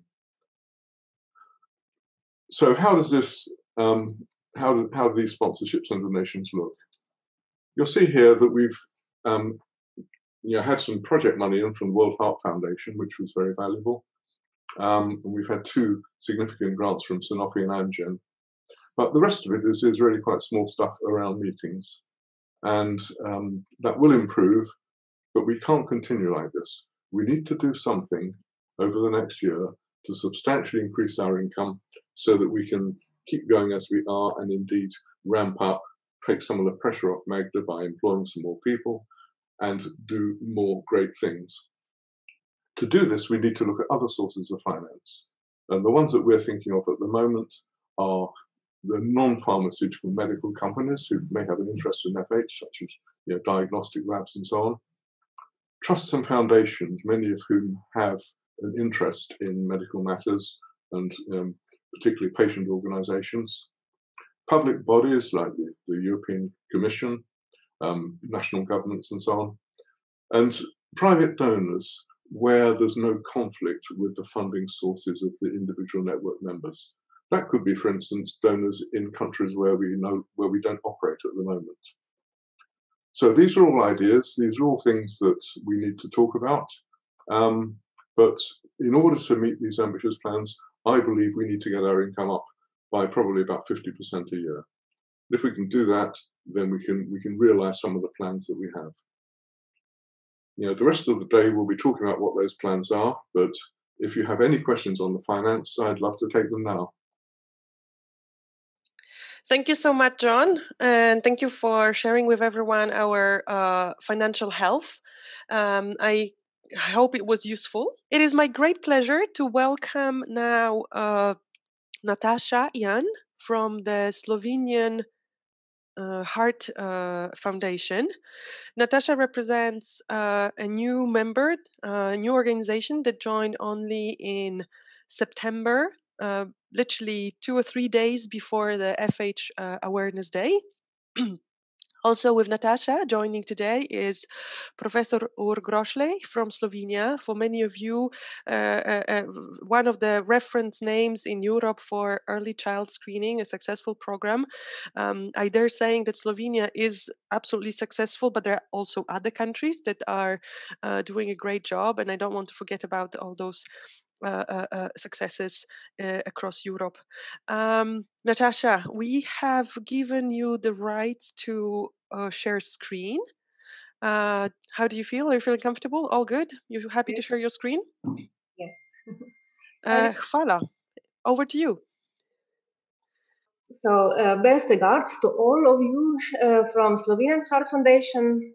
Uh, we on Slovenian Heart Foundation are very glad to be a part of FH uh, Europe because uh, the last three years we have dedicated our activities also to FH. And it is uh, extremely important for us to cooperate with uh, FH Europe so that we can be even better in our work on the field of HFH. I'm sorry, it's not, not, this was not at the beginning of my presentation. Um, I will briefly introduce Slovenian Heart Foundation. Uh, Slovenian Heart Foundation uh, was established in 1991 in Ljubljana, and uh, this is an organization acting in the public interest in the field, field of health and research in Slovenia. Um, Slovenian Heart Foundation has around 8,000 members but with activities and strong messages, reaches at least uh, 300,000 people each year. Slovenian Heart Foundation established a network of non-governmental organizations in the field of public health, which mainly deals with advocacy. Uh, more than 80 NGOs from the field of health are now included in this network most important is for us is to raise awareness of members and the general public patients with CVD. Uh, this is uh, raising awareness on cardiovascular diseases and prevention and uh, of great, uh, greater quality of life with already existing cardiovascular disease. Each year we perform many health campaigns uh, through the year, uh, these are clear um, European Stroke Awareness Day in April and May, in collaboration with the Association of Patients with Cerebrovascular Disease. Then follows uh, European Heart Failure Awareness Day. Uh, then in September, Familial Hypercholesterolemia FH Week and World FH Day.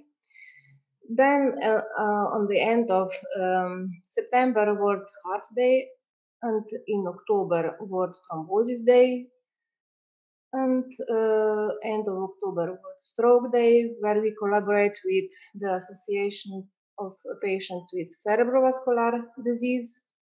And on the end of the year, uh, also in November, World Diabetes Day, where we collaborate with the Slovenian Diabetes Association. The Slovenian Heart Foundation provides activities by 11 branch offices in different parts of Slovenia. We are proud uh, on numerous preventative measurements with consulting at consultation offices for the heart and also in public places like comp- companies and uh, mark, uh, and other places. Very important is also advising on healthy lifestyle and risk factors for cardiovascular diseases and as well as on better quality of life with, with already existing cardiovascular disease. Every year we publish more publications, um, our magazine for the heart with five issues per year, then brochures, leaflets and posters. Uh, and uh, with other NGOs, like I said before, we work on the field of advocacy. How we work. Um, we provide uh, individual health care education, uh, then lectures for general public and workshops for primary and secondary schools. Uh, then we have many health projects for a healthy lifestyle. Uh, our members and also non-members like uh, to go hiking and to other physical activities which we provide with them.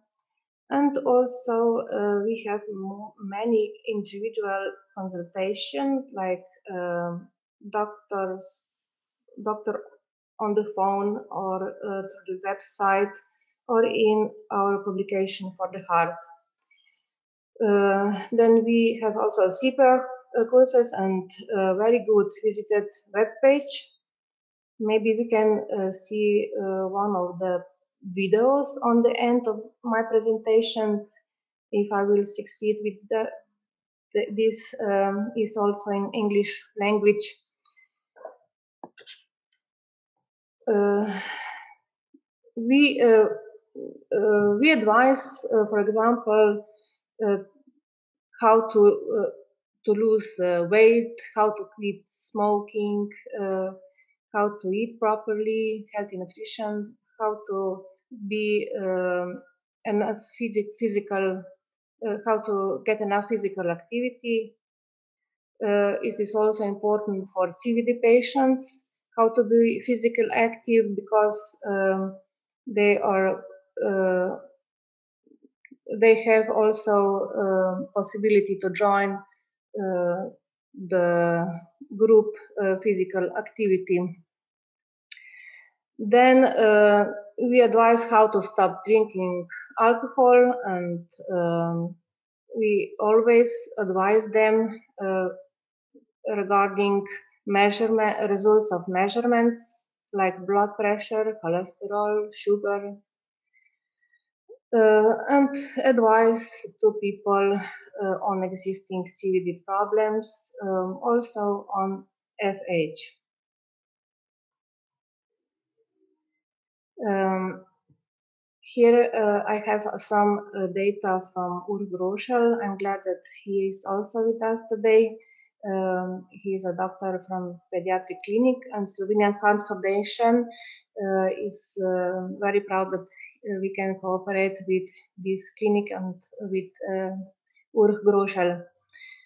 Um, FH is probably the most common inherited life-threatening metabolic disorder. It is found in one of the 2050, uh, 250 inhabitants of Slovenia in Slovenia, we have um, about 2 million inhabitants.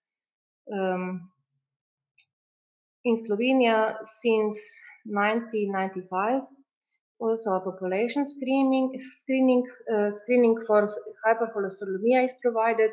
Uh, this means measurements of cholesterol levels in children at a systematic checkup before entering school uh, when children are five year old.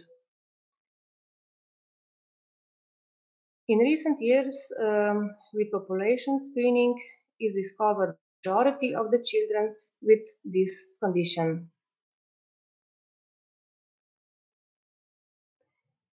It is very important that FH screening and then primary CVD prevention should start uh, started uh, start in uh, in childhood.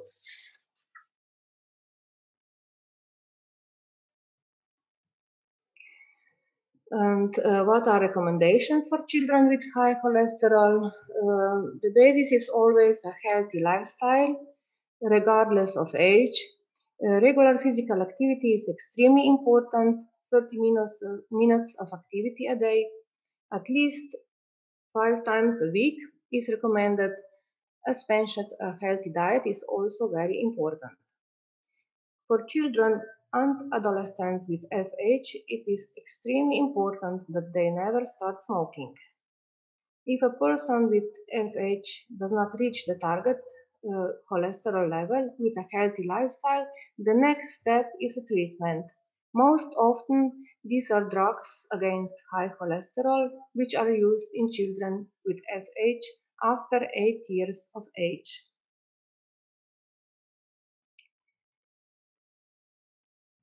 As part of the children's cholesterol screening program in Slovenia, at least 40 children with this disorder have been diagnosed each year, and one of the parents and half of the siblings also have FH. If uh, FH is untreated, uh, treat, untreated, the progression of atherosclerosis is very strong, and also that uh, the risk of such individuals are more than 10 times higher than among healthy peers. And on the end, some pictures of Slovenian Heart Foundation's activities. Here can we see measurements on the left and hiking and uh, CPR courses, then lectures, swimming, by, uh, cycling, physical activity. And uh, I hope that I will be able now uh, to share with you also one of our videos for promotion of healthy lifestyle in children and adolescents. We have made this video in the international project Children in the City with uh, World Heart Federation uh, and uh, European Football Association.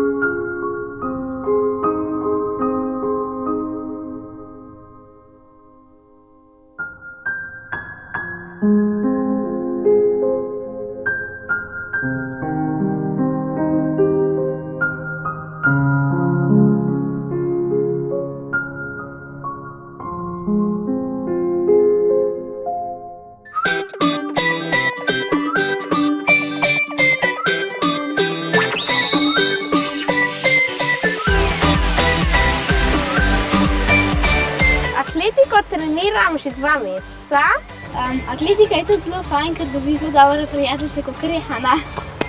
Predlagam, da se vsi začnejo ukvarjati s tem športom, bojo imeli lepo postavo. Najboljši je skakati do mere. Ne, najboljši je teč na dolge proge. Na dolge. Ne, na kratke. Zelo je dobro teč hiter, ker te noben ne ujame.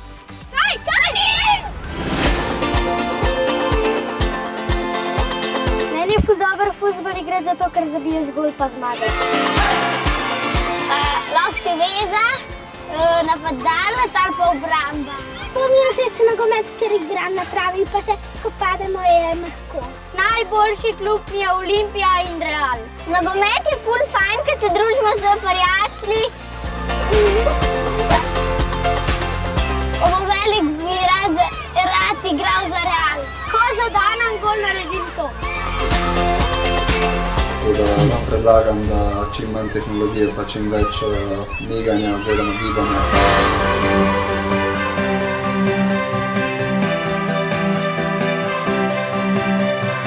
Ko sem prvič naredil salto nazaj, sem bil zelo vesel, čeprav sem se razkancal. Logično, sej, prvič, prvič. Gimnastika je ful zabavna. Imam ful hude mišice. Nimam še punce, ki veliko časa preživim na treningih in pač še nimam časa za njih. Mi smo ful hudi.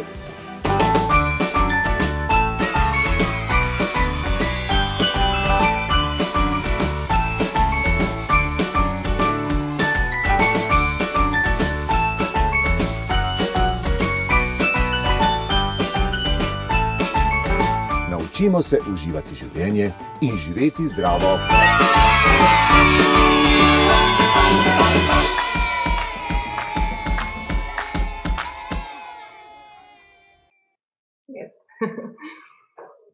This is all from Slovenia, from our side. Uh, Natasha, this has been fabulous. Thank you so much for sharing. Yeah. Even even though there was a bit of a technical uh, challenge, uh, I think it's been Yeah, um, absolutely amazing.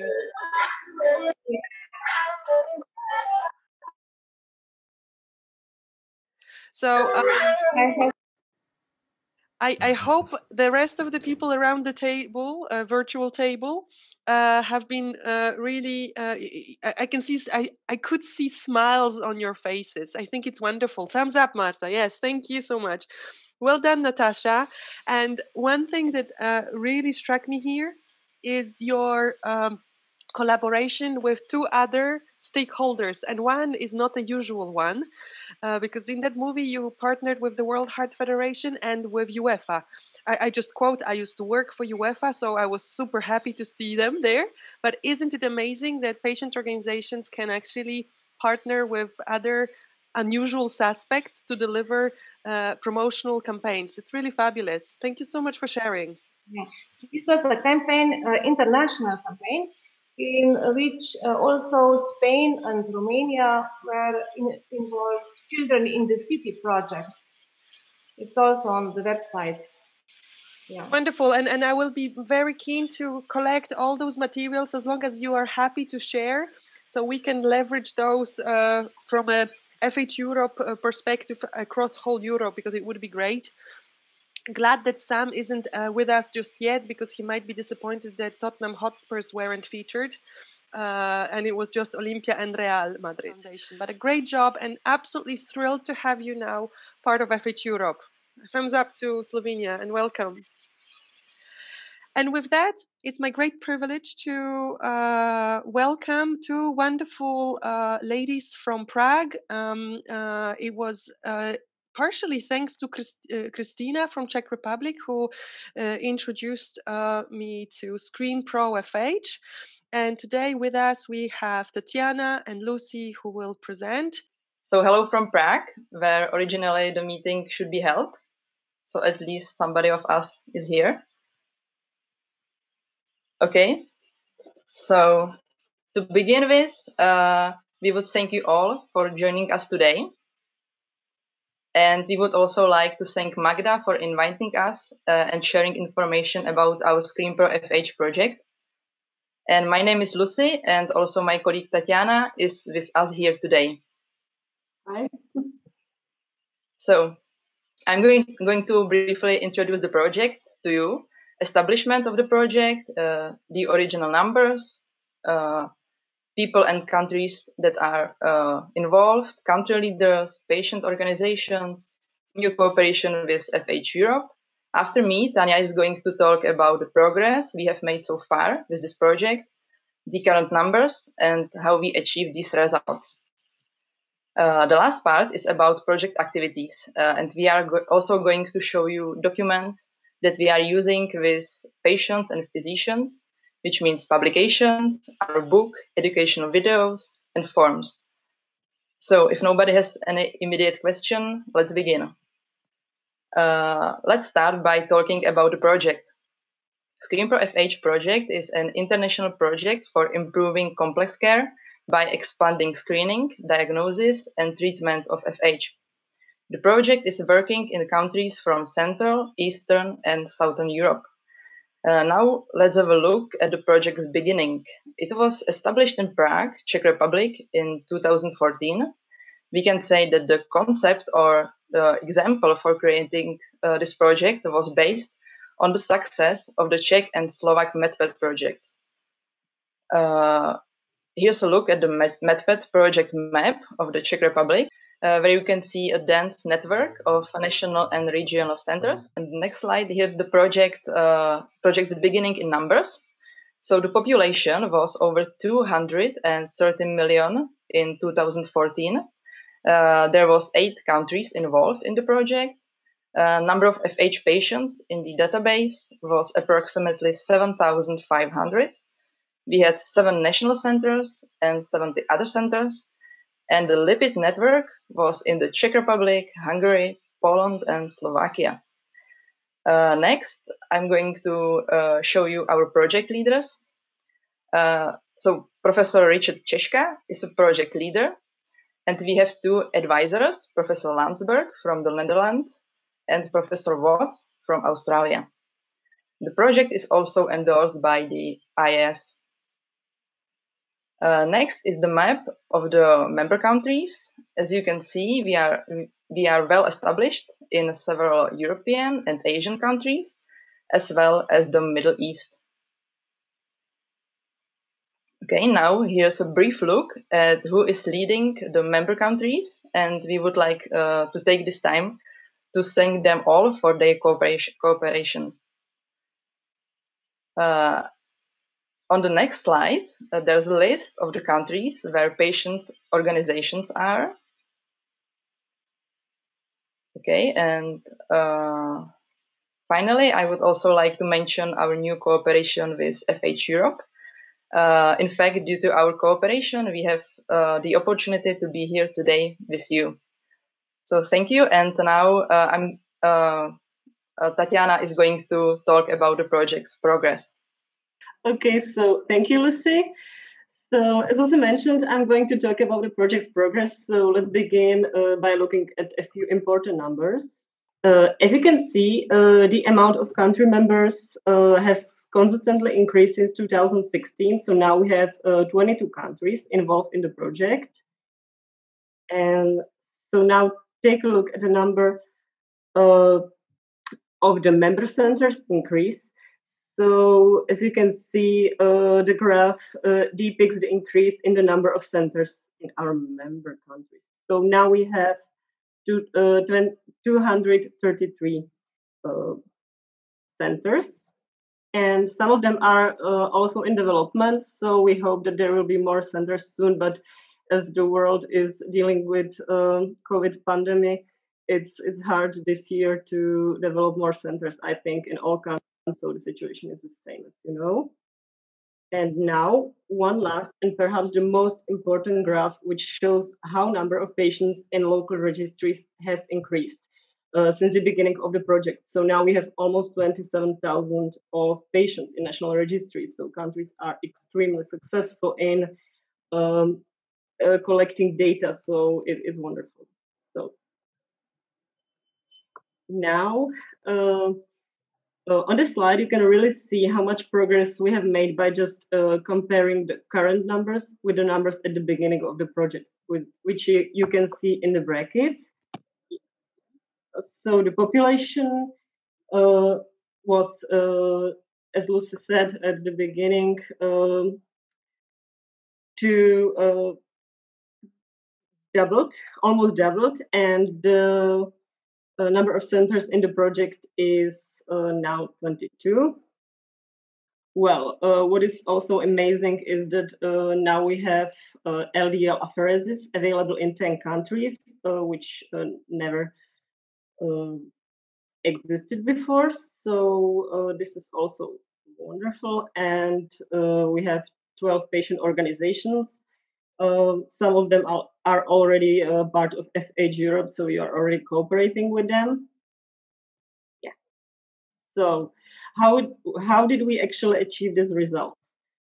Well, uh, we did uh, so by increasing uh, member country awareness, um, by connecting country leaders in various countries with each other, and through education, uh, which includes um, several materials and publications as well as participation at international events. For example, um, we are participating at International Atherosclerosis Society events. We had symposium in Toronto 2018, and now we are planning to be a part of uh, International Atherosclerosis Society uh, symposium in Kyoto next year. So hopefully it will be will be real, not just online. So we'll see. And we also achieve these great results uh, via logistics by communicating about the project, collecting data, and organizing events. On the top of that, uh, by locating and involving national and quarters, uh, so we were able to widen knowledge about the project in other countries. Now, uh, the last thing I would like to show you uh, are our project activities. So first of them is our ScreenPro uh, FH website, uh, screenprofh.com. So here you can find uh, information about the project, about diagnosis, treatment options, and also some publications. Uh, we are uh, events that are going to be uh, planned and going to be held in the future. And uh, also important part is that we are trying to focus on patient organizations. So thanks to Christina uh, from Diagnoza FH, um, we have some informational videos. Um, one of them is why we need FH patient organizations, tip and experience from Professor Češka, and also FH patient organization experience from Christina. And what is amazing, we have two new videos. Um, again, thanks to Christina. So why be a part of a community and best check practices? So everything is available on our website, so you can uh, find out more there. Well, and also we, uh, I would like to show you our FH book, uh, which has uh, already been translated into six languages. The original book was in Czech language, then we translated it into English version, Serbian, Lithuanian, Bosnian, and Kyrgyz versions. So maybe there will be more versions soon because some countries are uh, working on it. So let's see what happens next. And this is also uh, another of our publications uh, that was published last year in uh, Current Atherosclerosis Reports. And it's also available online at the link. So uh, everything is on website. And finally, there are some other uh, international publications also available on website. And the last few slides, I'm going to go through uh, examples of some of our materials for specialists and patients. The first one is FH patient card. So here you can see the English version of FH patient card in full, uh, which has also been available translated into several languages, local languages, and so everyone can use it. I think it's it's very useful because uh, it was uh, designed and we uh, asked countries to translate it. So good. And there are more informational materials. So this one is information for patients. Then we have a letter for relatives. So um, this is informing relatives that a family member has FH. Informed consent, everybody knows that. And uh, for example, question for general practitioners. And the last one, uh, it's not last one, but last one in our presentation is when to consider a diagnosis of FH, which I think is also very important for uh, specialists. So I think that's it for today from my side. And uh, Lucien, I would like to thank you for your time today and for the opportunity to uh, be a part of this meeting. So thank you very much, Magda, and all. So if you have any questions. Wonderful. Thank you, Tatiana, and thank you, Lucy. How impressive is that? Uh, I really would like to congratulate you. Great job. And even though we had our discussions and I've uh, uh, uh researched your website, there were a few things that were pretty new for me today. Uh, but most importantly, it's about the people uh, around the virtual table on this call, in this meeting, how useful has this been? Do you think there were things that you might want to uh, investigate a little bit more and potentially look at implementation back in your country? Was there any element that could be useful for you? Uh, there's no pressure if no, but if yes, feel comfortable to raise your thumb up if you think there was something that you might want to uh, repurpose. I personally thought there were at least few things that we could easily repurpose and translate. So definitely in France. I cannot see everyone there, but uh, I'm guessing there are a few more thumbs up. We had a virtual thumbs up from Russia as well. and one from Turkey. So there are a few things, which is wonderful. And considering that we will be looking into translations more and more moving forward, I think if there are any materials, uh, but they are not yet available in your language, that doesn't that shouldn't stop us. Uh, we should be making sure that we can actually uh, get some funding to translate and, and leverage whatever uh, materials are available already uh, for the rest of the community. Once again, congratulations and thank you so much, Lucy and Tatiana. Um, thank you. Uh, my understanding is that uh, you might not be able to join the afternoon meeting because you have another meeting uh, later on with another group of people. Obviously, we will be delighted to have you and learn and learn more. And Christina, of course, we would love to have your videos as well. Again, and thank you everyone for your uh, patience. And talking about patience, patience for patients. Uh, Sophia, Sophia uh, uh Bakuni from uh, Brussels, but originally from Hungary. She is representing FPA Patient Think Tank, and as of April this year, FH Europe is a member of this organization. It's an absolute pleasure to have you. Uh, the virtual stage is yours thank you so much for the invitation and thank you for for having me here today. Uh, indeed i'm working for EFPIA which is the european federation of pharmaceutical industries and associations. So uh, just a just a little uh, word about this. So uh, EFPIA is representing the innovative pharmaceutical companies that are operating in europe. Uh, within EFPIA i'm working in the communications team uh, but within that, I'm specifically focusing on patient engagement and partnerships, which is really close to my heart. Uh, what are we at EFPIA? So uh, we have we are a membership organization. We have companies that we are representing, but also there are national associations which are representing those pharmaceutical companies in the countries, which are also members of ours. And um, so getting to the getting to the gist of it and why why i'm here today and why this is so important.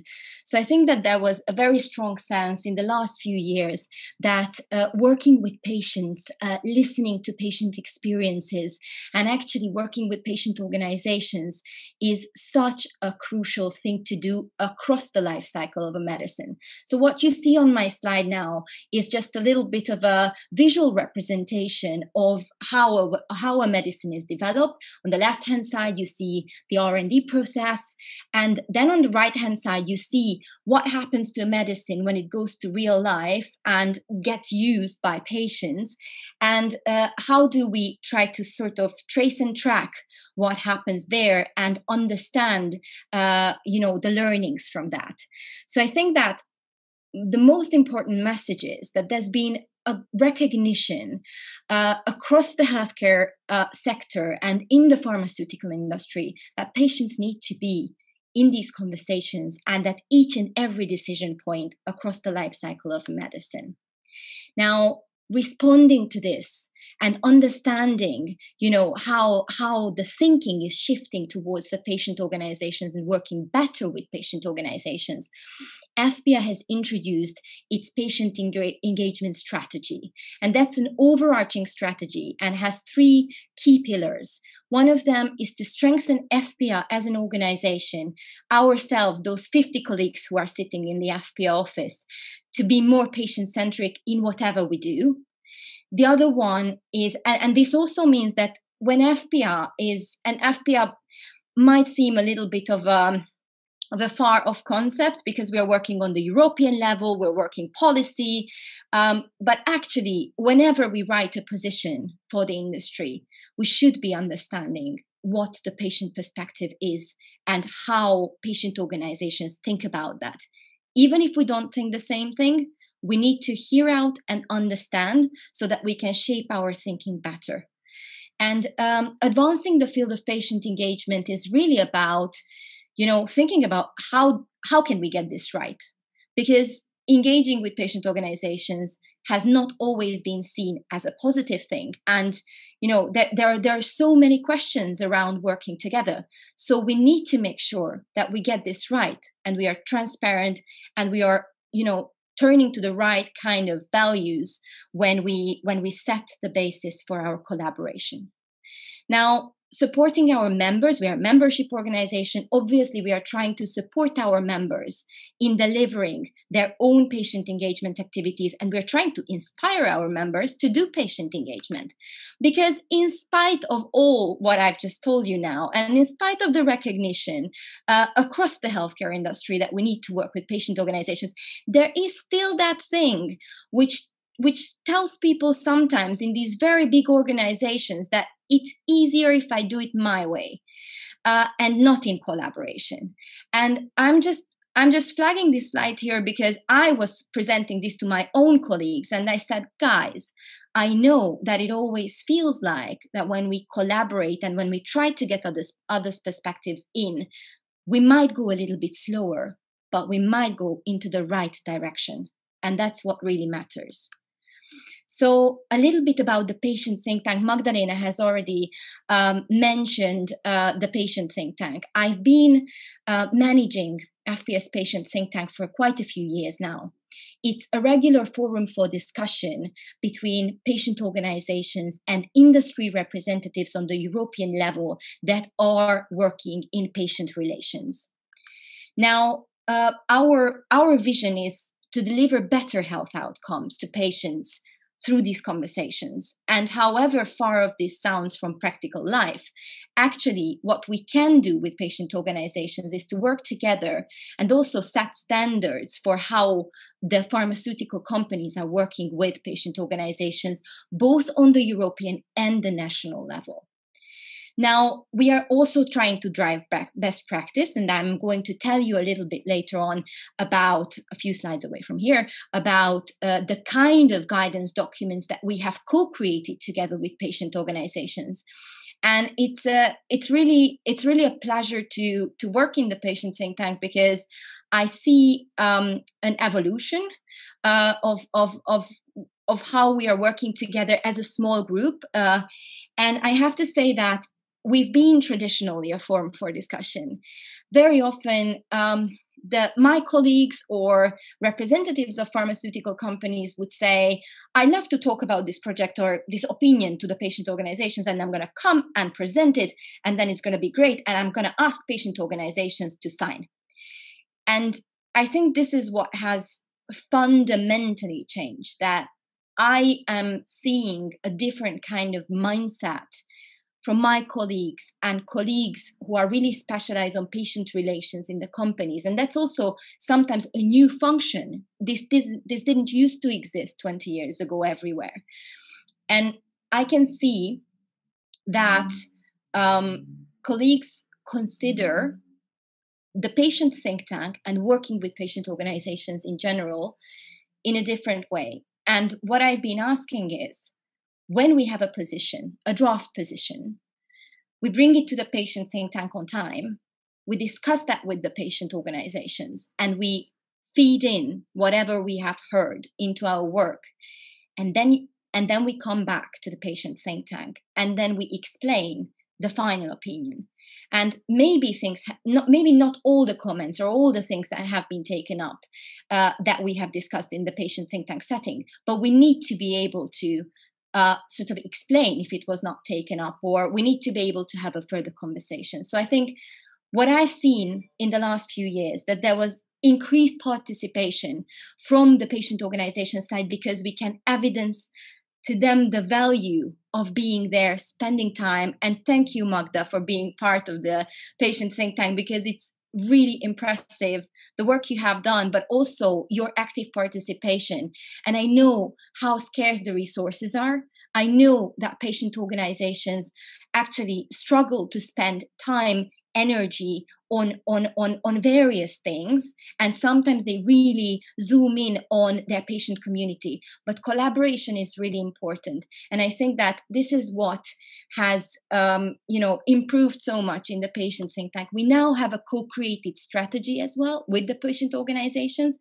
We have been asking the patient organizations and the industry partners as well what are the main topics that you want to discuss and how can we prioritize that? And now we have we have a sense uh, of what the group would like to see. Obviously, COVID nineteen has disrupted many things and has has required uh, sort of a, an emergency approach. So we we have had to change our work plan and and and adjust it to what really mattered to patient organizations during the COVID crisis.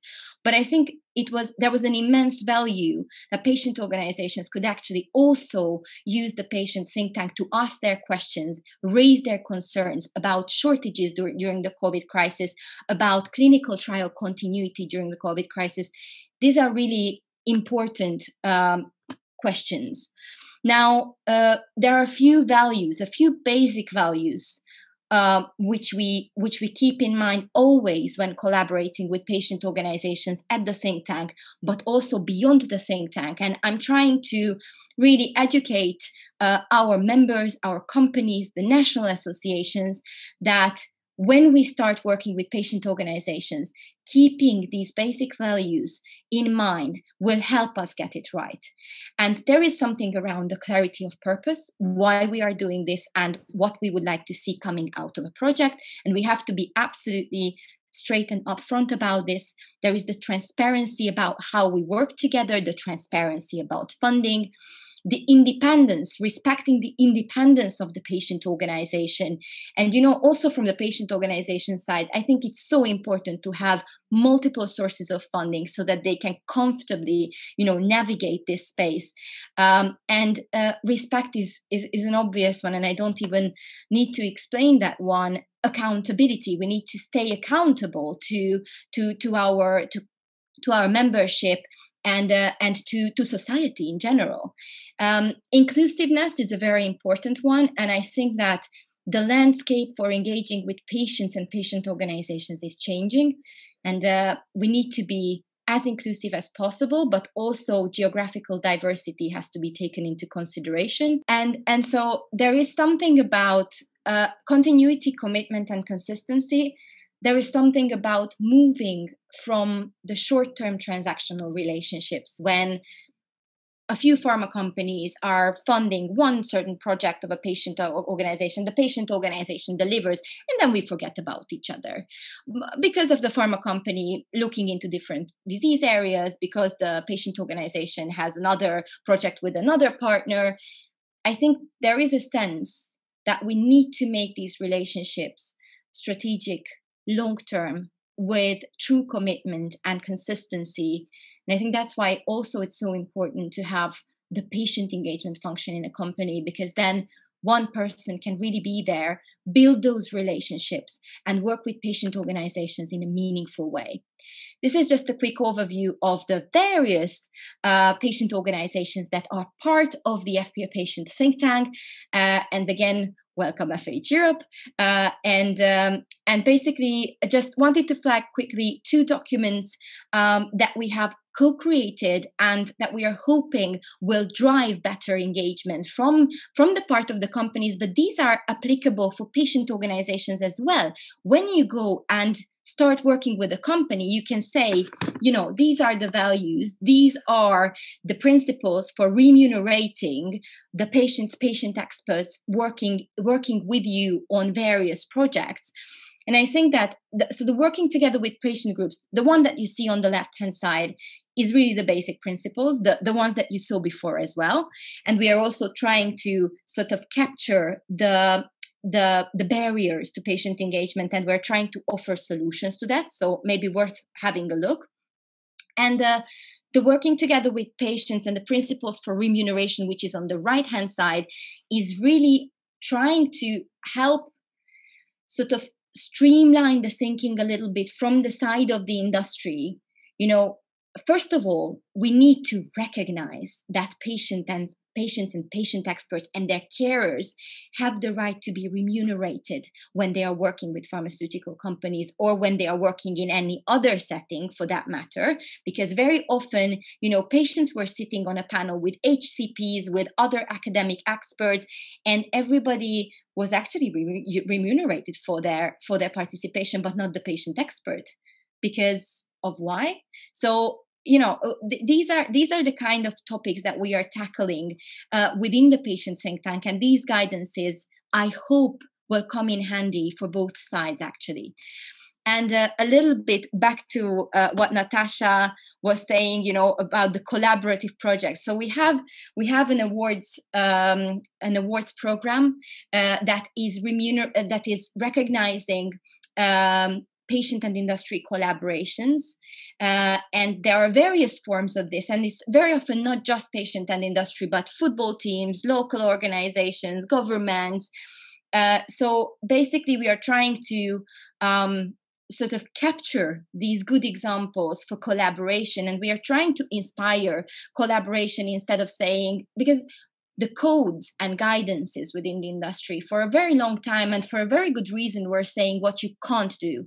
And i think we need to talk about what you can do and we need to talk about how you do that right. So these are all uh, the health collaboration guide is capturing all those projects and is showcasing all those projects that are that are applying for the health collaboration awards. Uh, and we've been there for three years now. This is the fourth year that we are having the awards. Uh, it has just closed. Actually applications have just closed. Uh, and i've had the first jury panel and we have uh, a lot of inspiring stuff going on. So that's that's great and about I just check there uh, for one little second, uh, Sophia. If you go back to the previous slide, I would like to mention that actually FH as a as a disease as a condition has been uh, was featured a few years back. Uh, it was a collaboration of the Swedish patient organization. So um, I know that Gunnar has successfully run that. He is not present uh, today with us on uh, this meeting, but we have other representatives. So there is in in one of those. Um, guides uh, actually one of the FH initiatives. Unfortunately, this year we've missed it, but we will be there next year, Sophia. That's that's a deal. I, will I'll I'll uh, I'll follow up on that. Uh, okay, so um, and, and just so just a quick a quick final thought on on the whole patient engagement, patient organization, industry collaboration.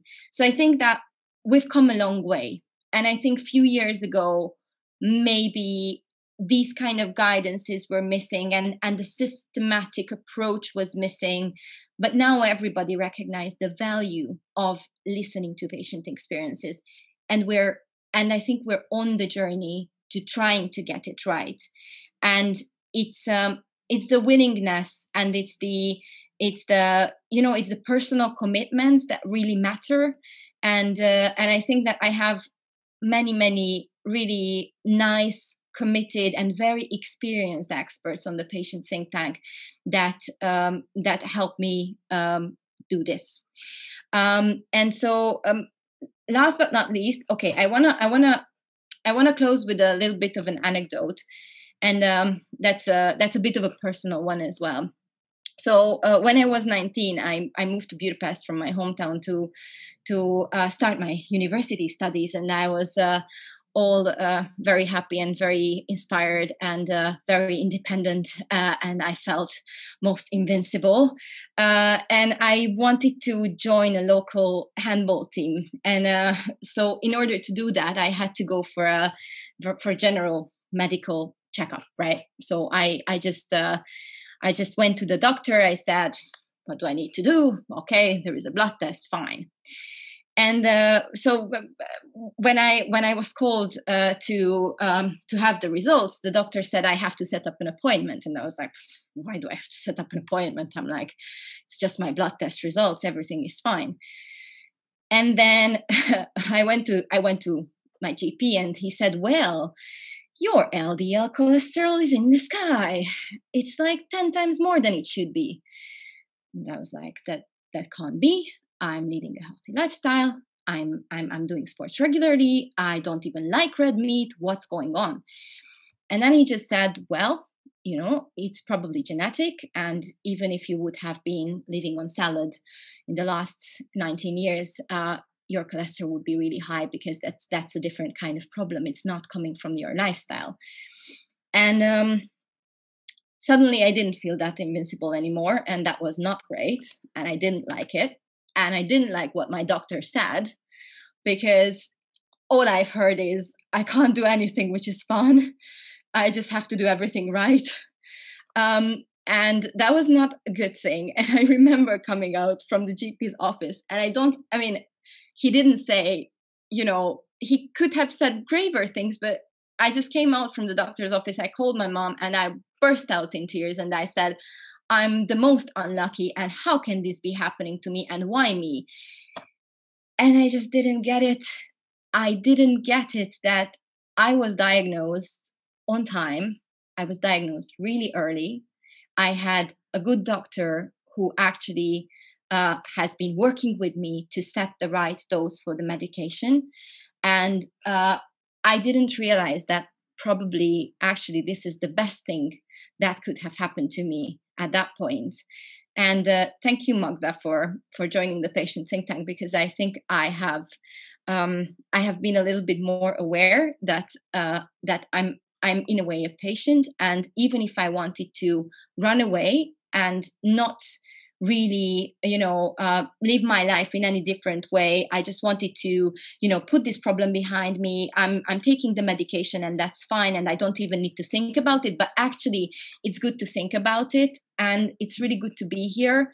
And thank you for the inspiring presentations from tatiana lucy and uh, natasha as well because it was really cool to to see that because i'm also uh, an fh I'm also living with FH, and uh, and I I I kind of have to be aware, and I want other people to be aware. So I thank you all uh, for for your attention, and uh, thank you Magda for your kind invitation. And uh, back to you. I hope I didn't run over too much. It's tradition. We're running over time naturally. Sophia, thank you so much. Um, it was inspiring, and believe it or not, your presentation moved me to tears because it's been so true. And there's so many people that, uh, young people, that we need to inspire. And and it would be absolute privilege and ple- pleasure. Uh, feel no pressure if you wanted to help us advocate uh, uh among uh, younger people to, to to help them, just like you make them realize that luck, how lucky they are if they are identified early. Um, please count me in for the I don't know ambassador program or whatever, whatever you want to count me in for. Uh, I'm I'm in and and thank you very much. Köszönöm. Thank you so much. Ladies and gentlemen, I hope this has been useful. There has been a lot of practical information brought to us by um, uh, Sophia how to effectively and successfully collaborate with industry partners. There's a lot more that we can get from those collaboration than just funding. And I wholeheartedly encourage you to see this stake uh, stakeholder group as more than just founders. There's a lot more we can get out of it. And good afternoon to all of those who joined a little bit later.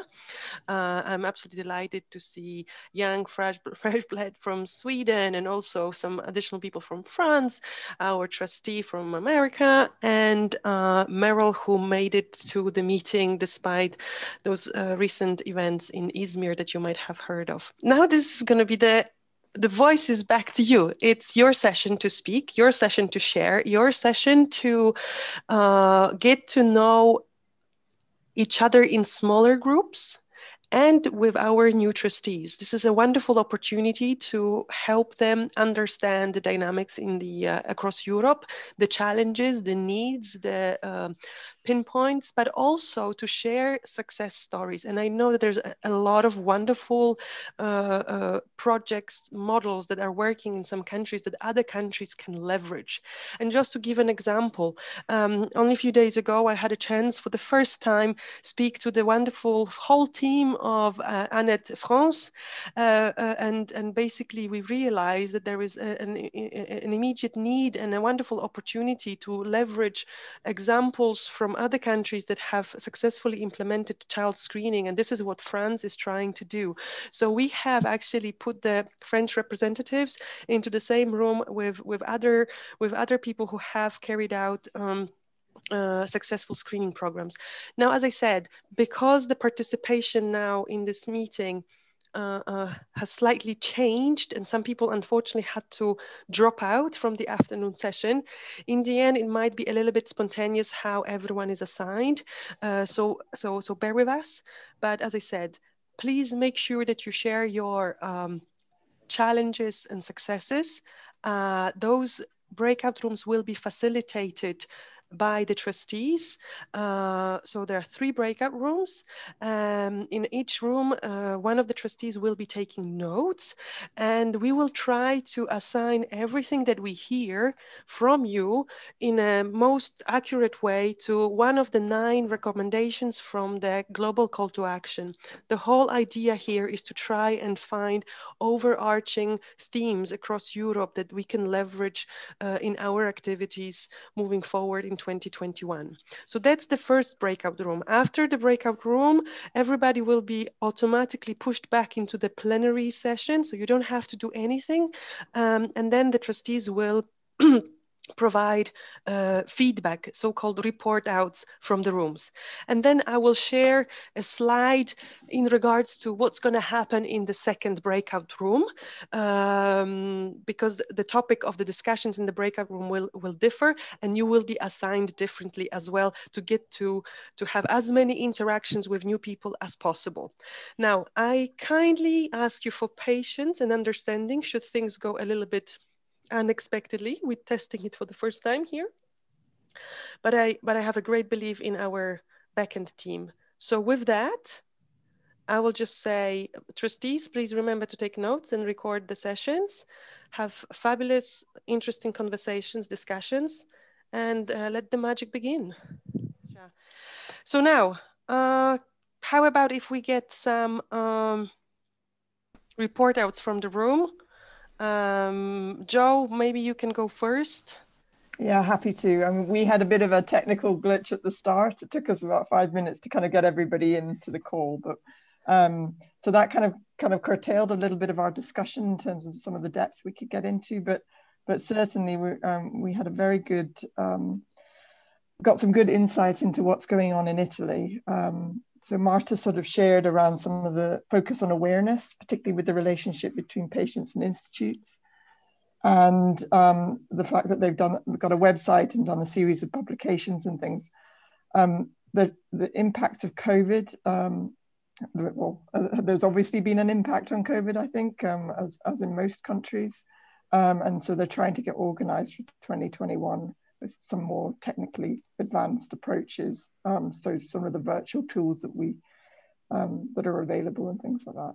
Mimo also shared some really great insights in terms of the um, the um, the status of patients um, and their the ask of um, Parliament to kind of review this, some of the status of, uh, of LP little a patients to be more akin to dialysis patients and the advantages of that are, things like um, reimbursement uh, for transport expenses, the um, strengthening the status of permanent disability, better acknowledgement of um, of the uh, uh, the pre and post treatment sort of requirements and, and increase in allowances.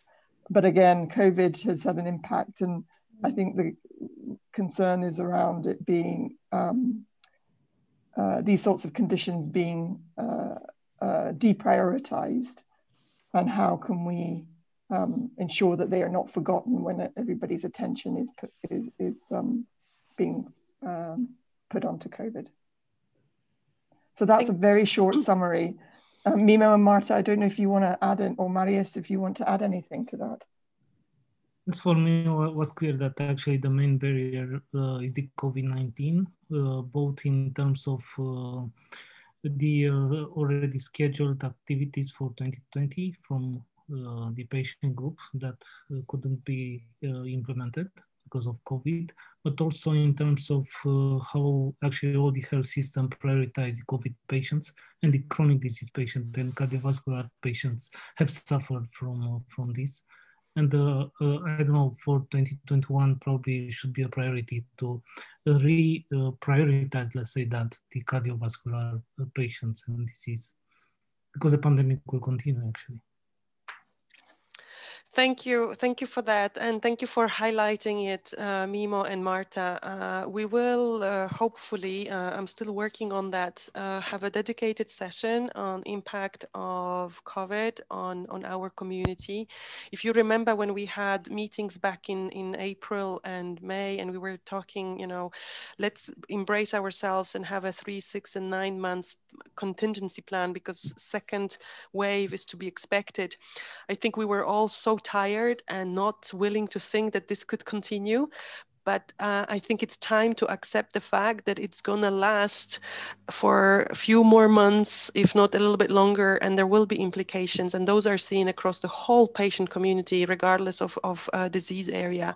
So it's, it's, a, it's a good reminder that there is still a lot of work to be done so that our uh, patient community is not uh, uh, a victim of, of, of the system um, having to choose between different uh, indications because it's just not fair. And just to tell you, I saw today a post from Bulgaria from the patient organization that we that is part of our network. Uh, uh, uh transplantation, kidney transplantation uh, uh, units, the only one that is in Bulgaria, has been converted into COVID unit, leaving all the patients with kidney transplant with absolutely zero support and help. This is really, really tragic. Um, so um, thank you so much for, for that feedback, uh, Joe and Marius. Thank you so much for your contribution, Marta and uh, uh, Mimo. Dorota, are you ready to um, do some uh, reports out? Yes, actually, I'm very happy to share some information. And I have to tell that uh, even due to the fact that we lost quite a lot of time because of technical issues and trying to record, uh, we were able to initiate discussion with everybody and we captured some notes for uh, each organization, each country representative. So going around the nine recommendations, what I can tell, the biggest activities are of, are of course around awareness, around screening, testing, and diagnosis in our group, and around treatment and also advocacy, because here is quite a lot of related to reimbursement. So uh, shortly, in case of awareness, what uh, we capture from Latvia, Czech, Hungary, we did not have time enough from France. Uh, but it is very clear that it is a lot of activities going uh, in respect to increasing um, awareness. Uh, even if it was impact of COVID, it was possible in some well, uh, way uh, redirect activities, mostly also to social media. All countries are very much active or trying to be active on social media. Uh, interesting in case of Czech, who organize a holistic approach, what is also very welcome for such a disease. Um, in case of uh, screening, testing, and diagnosis, uh, Latvia identified new patients la last years. Uh, in case of, uh, it is like circa 40 percentage of all potential uh, patients identified. Uh, took activities in patients' registers and a uh, uh, few words about reimbursement, but I will talk about this in treatment. Uh, Czech uh, also was able to identify a couple of new cases, although very negative impact of COVID. Uh, are working on genetic testings, testing with 60 FH centers in Czech. Uh, fortunately, it is reimbursed by insurance in Czech, and they are doing both types of screening, what is also very good, Child and Cascade. Uh, uh Czech is very successful. They identify 20% uh, of all FH cases by via our patient organization in Czech, and new projects started, neonatal screening, collaboration with 12 hospitals, project for two years uh, as a pilot. Hungary, impressive, activate cascade screening, taking also physician, physicians on the on taking different stream than via physicians who are currently overloaded with COVID. Hungary is generally collaborating with everything via additional uh, with additional general organization in Hungary. I was not able to make in Hungarian notes, but this is allowing uh, bigger power um, on the national level, uh, also in other areas like advocacy. Uh, France uh, screening decided to create Center for Screening Testing, and this is, of course, main objective for France to create more information on FH. And this was end of the discussion, so I could not make more notes. In respect to treatment, interesting story about reimbursement. Latvia, reimbursement of new treatments PCSK9 um, was possible to put on the list. Still only 15 percentage for, for, for typical FH cases. Um, working on reimbursement. Um, happy to see a call to us to FH Europe to help really to collect all information about reimbursement in the European countries to be open to share and to, to, to let other countries to understand what was possible and in which way and what is the status of the reimbursement in other countries. Uh, Excuse me, Dorota, and you have captured that all in your notes, right? Yes. Fantastic because there's a lot of i think you you've been extremely productive in those discussions even if it was short time uh, so maybe here one more comment that uh, with this uh, reimbursement approach uh, in respect to sharing with uh, on the European level with patients organizations, what is possible is also worth to highlight whether it, it will go as an inpatient reimbursement for some exceptional patients or any other uh, paths. So really all information are very nicely requested by Hungary, which I am very happy to hear. So this is, this is uh, I was not able to note more, but I can tell you that it was more information. And that's incredible in such a short space of time. Uh, so thank you so much. Uh, and once again, I do recognize the challenges that you were facing there, but I will just say embrace and let's try and make it better in the second uh, breakout room. And with that, um, a, a, report out from uh, our room with Turkey, UK, uh, Sweden, Austria, and Germany. And basically, the discussion was initiated by the younger Don't generation. Poland. Sorry, in Poland. Sorry, I'm just trying to pull out my notes while I'm doing several things on several screens. And Poland, thank you. And um, as the discussion was initiated by Alexander from Sweden, we very much focused around leveraging uh, social media and uh, digital platforms for communicating, raising awareness, and reaching out. And and um, Alexander did mention that it's nice for the organization to get its visibility to promote its activities and we came to conclusion that it might be useful for everyone to understand that there are available free of charge or better said available grants to non-for-profit organizations to uh, for a better search for uh, search engines optim uh, optimization. And so one of those things a Google grant.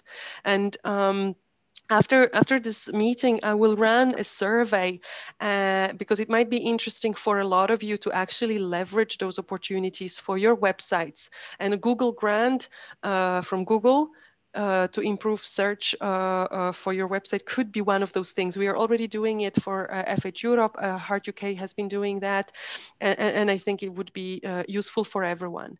Another thing we've discussed is leveraging uh, different channels on social media for different target groups and approaching communication with the external and our, our beneficiaries direct and uh, indirect uh, through uh, different platforms. That means, uh, uh, and Meryl from Turkey has highlighted, uh, that's what we observe at FH Europe as well, is that different groups, different communities use different uh, platforms, meaning patients very often will be using Facebook. Younger generation and maybe not yet patients will be using Instagram. Uh, industry representatives are very often on LinkedIn, whereas uh, HCPs, healthcare professionals are on Twitter. And so whenever we want to communicate with those different groups, we need to employ different channels and different messages. But it is extremely time consuming and effort consuming. And so my suggestion would be, um, and, and, food for thought, to find a way how we can um, leverage resources, uh, whether it's an agency or maybe uh, repurposing different uh, content in different languages and uh, uh, activating tools like Hootsuite, for those who might be familiar with that, which is an um, automated calendar that actually sends posts across different social media. There are solutions. We just need to start thinking collaboratively rather than individually. So uh, rather than every single one organization within the network trying to come up with solutions and realizing that there is no money, no manpower to do it, maybe the answer is in doing it on a collaborative level. So for those of you who are interested to explore that, uh, I will be happy to hear from you. So that's the overall report from our room. Have I missed anything? John, uh, Jules, Magena, Alexander? No, I think it's a good summary. I think to, to me, the thing that came up mostly was the segmentation issue, that each country has got to deal with its own segmentation problem. Now, maybe there are some common threads, and it may be that you know healthcare professionals across Europe use Twitter, but it may be that it varies from country to country. And I think unless we can get a handle on that, we can't really help people develop a proper media strategy. But definitely looking into media strategy and addressing it. One other thing that we discussed uh, in reference to COVID is um, COVID will be blocking uh, face-to-face interaction. COVID will be stopping us from going to conferences and meetings.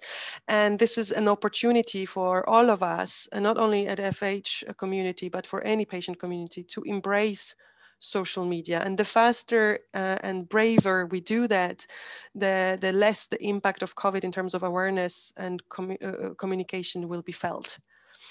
So, so that's that's all from my from my side. Have I represented well our room? Yeah, we didn't go as deep as the other rooms by the look of it. Okay. okay. So we will we will have uh, deja vu uh, breakout rooms uh, where we will have discussions around plans for 2021. And I do appreciate that it's uh, beginning of November. Some of you, because of COVID, might not yet be able to plan for 2021. Uh, some might be actually super well organized and have already everything laid out and written down. Uh, there are different scenarios. We operate in different uh, uh, realities, different situations.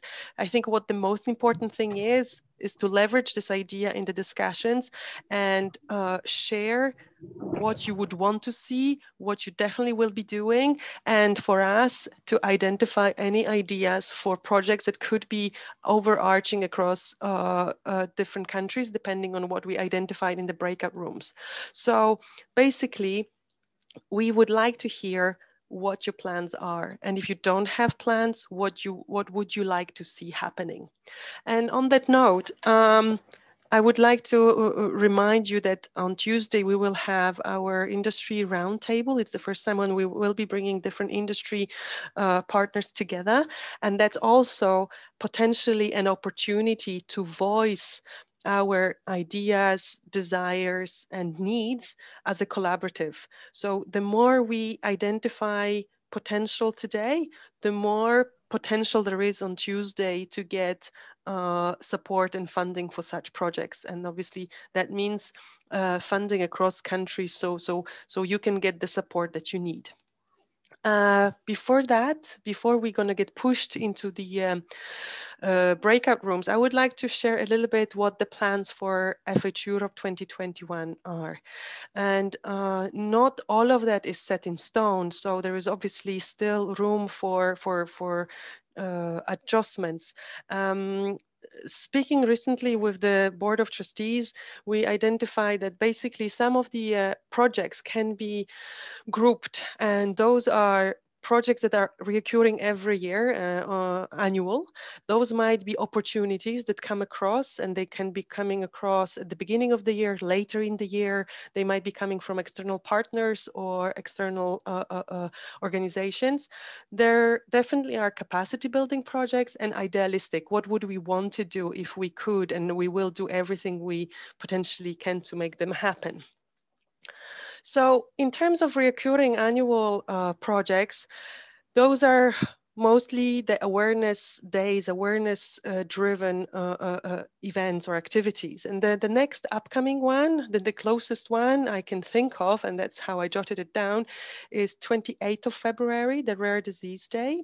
Obviously, it would be uh, great if we could work on that together as a community. Although, again, I appreciate that some of you might be not in, might not be interested in that because you might not have rare diseases under your umbrella.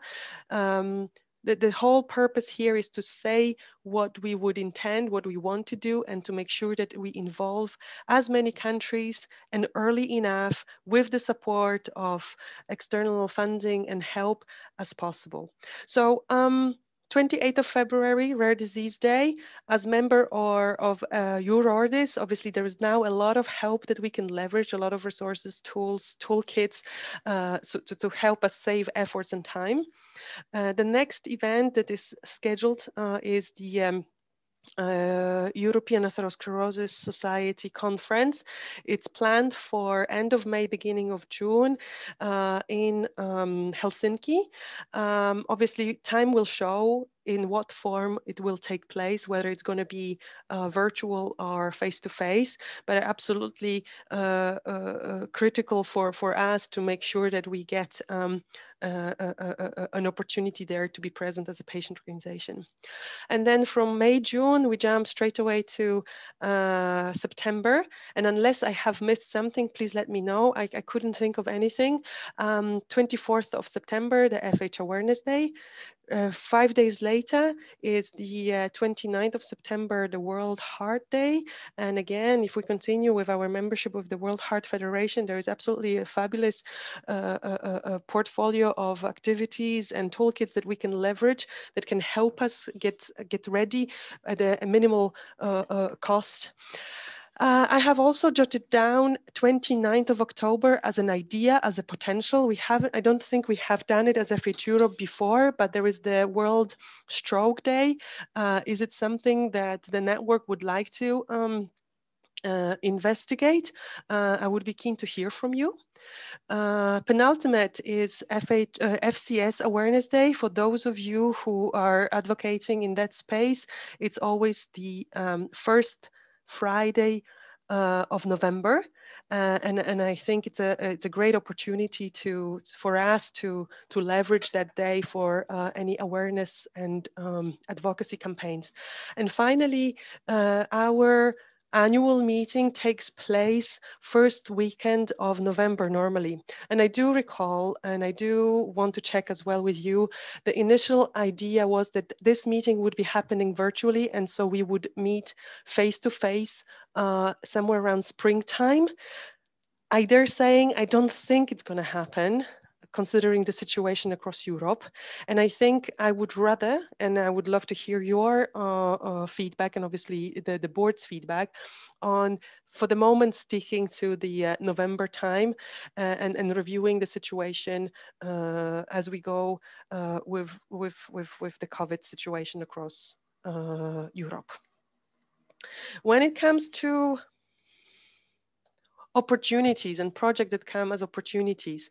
I mentioned earlier this morning about our collaboration with the World Heart Federation around the uh, global survey, uh, the, uh, the um, mapping survey. As a result of that, there will be uh, a publication and report written. So that's one project that is coming very soon uh, and ha will have to be finalized by end of uh, February. Um, there has been an invitation from IAS to contribute and help with global guidelines harmonization. So that's something that we will be investigating, and I would love to hear uh, from you uh, uh, uh if you have any any suggestions, takes, interest. You would like to um, dig into that more. Uh, last opportunity that is known to me today in terms of projects, and uh, we've already started working on that a little bit with EAS FHSC, so the global registry, is a portal. Uh, Find My Lipid Clinic. It's a it's a website that uh, captures all treating physicians and clinics in the lipid space, as well as patient organizations. And I will not talk more about it now because we will have a spe special dedicated session on that uh, delivered by the team from the FHSC group uh, in two weeks. Uh, there will be slide about it in a second when it comes to capacity building, having uh, seen uh, the interactions now in the network and what's happening as a result of COVID, I am absolutely convinced that we need to improve uh, the communication channels between us. Um, I know that for the past 12 months, there hasn't been an official newsletter sent out. Uh, this is purely due to the uh, resources or lack of resources. Uh, but I've already reached out to some of the um, volunteers in the network. So Christina and um, Bianca, but I'm also opening that as an, op uh, uh, uh, an open invitation to anyone else who would like to contribute and help um, be an editor of our newsletter because there's so much happening across the network just within the network and with outside organizations.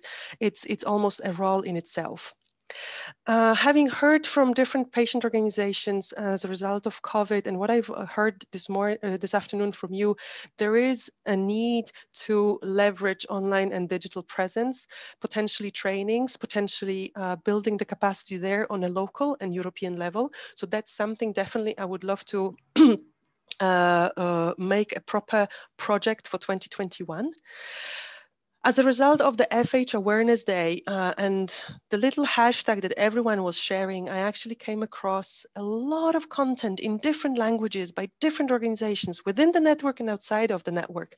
And so, um, as a result of that, um, I have uh, commissioned a, an external person to do a,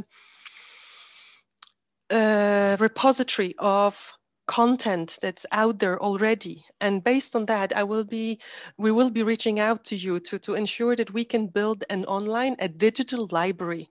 I think there is no point creating new content knowing there's already fabulous content existing. And if we can translate it and localize it that the work you are doing already is incredible. Only last two weeks, I discovered a beautiful brochure in um, by FH Austria, FHchol Austria. Fabulous, beautiful uh, in terms of look and feel. And, I'm sure that there are gems like that sitting somewhere on your drives and in your on your shelves whether in paper or electronic copy there's a lot of content that christina is producing slovenian heart federation was sharing um, movies uh, uh, we just need to compile it and have it in one place so anyone can go and, and, and leverage and we can translate those. I think emphasis moving, moving uh, forward will be on translations. Uh, last but not least is ambassadors program. Um, I would like to take proper time and walk you through that specific project uh, on a separate occasion uh, because it takes a little bit more uh, in-depth thinking and collaboration. But I am a great believer that we need to leverage people in different disease areas, in different countries, and in different um, languages to help us and be our ambassadors who will get proper uh, training uh, in terms of not just the disease, but what it means to be an advocate. What does it mean to engage in terms of public relations, how to engage with the industry, policymakers, and so on and so forth. And there's a lot of fabulous programs already running that we can leverage. We can already sign people up for existing trainings in schools, or we can develop something for FH Europe as an organization. Um, I will be definitely applying for funding there, and I would love to hear more detailed feedback from you you what you think and how we can build it together. So I will create a separate session on that.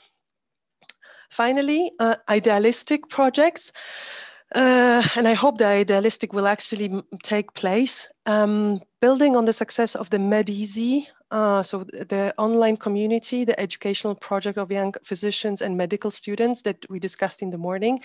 We, we ran the pilot for the FH uh, Awareness Day, and now we are in the process of partnering with MEDEASY on a, on a proper serious matter to, to leverage their community and to do educational programs uh, in different disease areas and to deepen it, uh, deepen it more.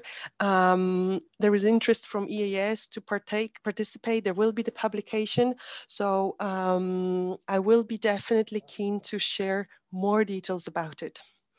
Uh, two last things that are uh, still in the process of, of, of testing and, and uh, getting more information is Friends of Europe.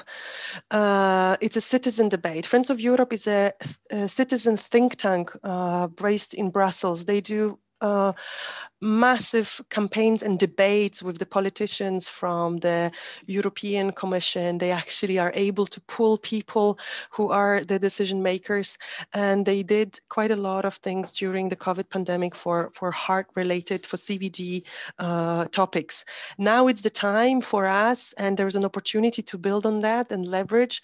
Um, again, uh, I would like to come back to you with more specific details. I would like to get the, the, the feedback from the industry what they think about it because that needs to be funded. But I think it would be great to demonstrate, to involve the citizen, but also policymakers for CVD and FH specifically.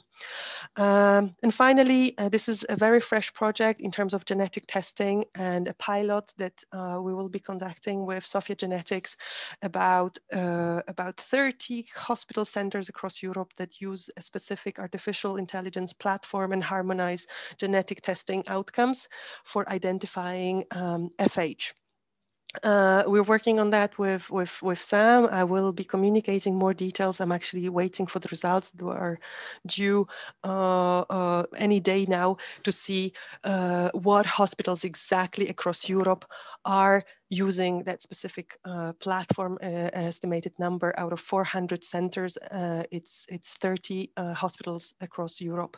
So stay tuned. There will be more coming your way. And with that. Um, I would be keen for you to share in the breakout rooms what what you're planning to do. One, has any of the projects uh, resonated with with you? What you have heard? Um, how can we help? How can FH Europe uh, leverage the connections with World Heart Federation, EAS, Eurordis, and so on and so forth for your local projects? That's the most important thing. So with that, uh, Joe, how do you feel about reporting back to the team, uh, to everyone here, what you heard in your room? Yeah, I certainly can do. Um, yeah, so again, we had a few technical challenges, but we we persisted and and we managed to get some good insights. So um, uh, Marta mentioned that, like every year, that they'd like to take part in all the initiatives that are taking place and want to contribute to the to and use the content for the World Stroke Day. Um, important topic for them is really around digital training and learning to use um, social media, particularly um, during because of the pandemic that's, cur- that's currently uh, uh, putting restrictions on sort of face-to-face interactions. Um, uh, we talked about LinkedIn as being a good channel to get to HCPs or healthcare professionals, and um, they'll also be responding to the global survey as soon as possible. It's been difficult to make plans for, for 2021 because of the pandemic. Um, but having said that, um, we also talked about uh, not just awareness campaigns, but Mimo mentioned kind of more of the um, the sort of lobbying and legal campaign, particularly given that in the Italian constitution, everyone has a right to care, and this is particularly important for Ferris patients. So, um, sort of linking back to what we talked about in the first session about trying to get a, a, a better status for these these patients um, uh, and, and funding, etc., for them. Um, we did talk about screening campaigns. Um, so those are actually already operational before COVID, but obviously had to be stopped and likely to resume um, after, um, well, as, as the pandemic sort of comes to a close, whenever that may be. Um, Marta did mention also around, um, she had a question mark around the value of involving medical students. so the MedEasy study, which I think was one of the, we also talked about Marta mentioned the cooperation with uh, LIPIGEN um, and, and sort of creating the registry and would like to extend that to genetic testing. So um, yeah, but that, that uh, so currently it is uh, to take a cascading approach to screening and it would like, like to kind of uh, look at alternatives. Um, but the implementation of those will require funding, which will be dependent on the, depend, the dependent on the pandemic. Was there anything else, Marius, that you wanted to add to that?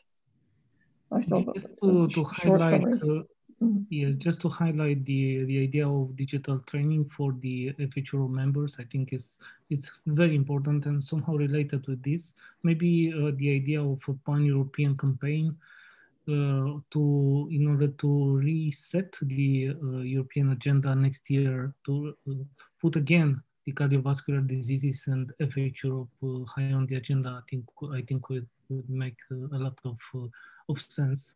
And uh, special thanks to, to Carmelo. Let's not forget that. Yeah, I was going to just say that before used, we moved uh, on. with four mobile phones, three laptops, and uh, six computers in order to manage the sessions was actually the hero of our breakup session. Very much so. Okay, thank you, Carmelo.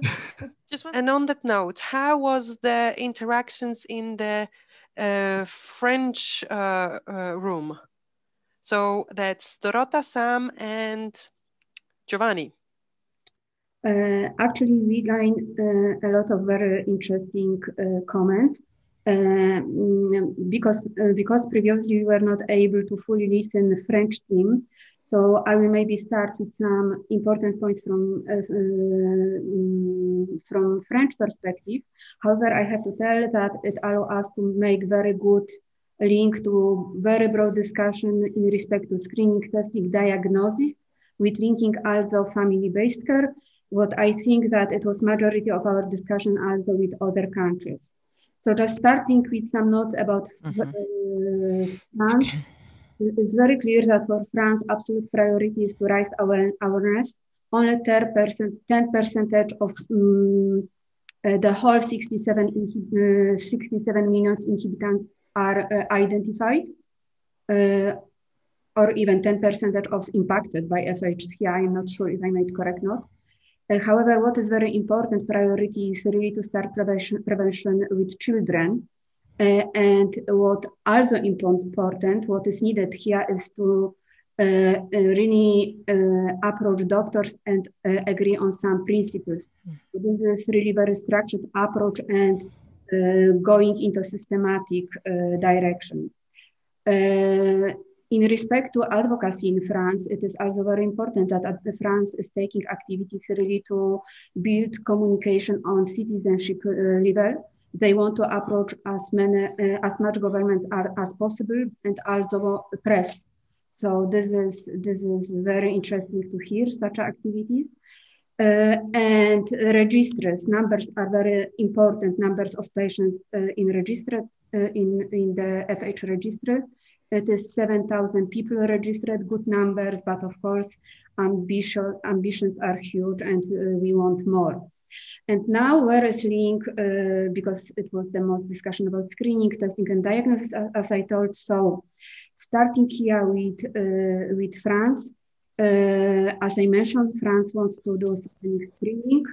Um, they have got very strong local specialists in genetics uh, who encourage um, to start the study, screen and test uh, children, and ambitions is to screen as much children as possible. Uh, st study are completed and what is now big challenge is to, to convince all uh, stakeholders like government, physicians, etc. to implement this. Um, and again, this is also about priorities at physicians uh, and uh, not only because of COVID, but also in respect to pediatrics, where I realize that the topic which is coming is, okay, uh, we, uh, we will start systemic screening and then what next? Uh, so for me, it was, please correct me if I'm wrong in my notes, but my understanding was like uh, really showing lack of HCP's awareness, what is really possible. And it was interesting highlight here that uh, especially nutrition is so important, so should be also awareness about this should be also raised.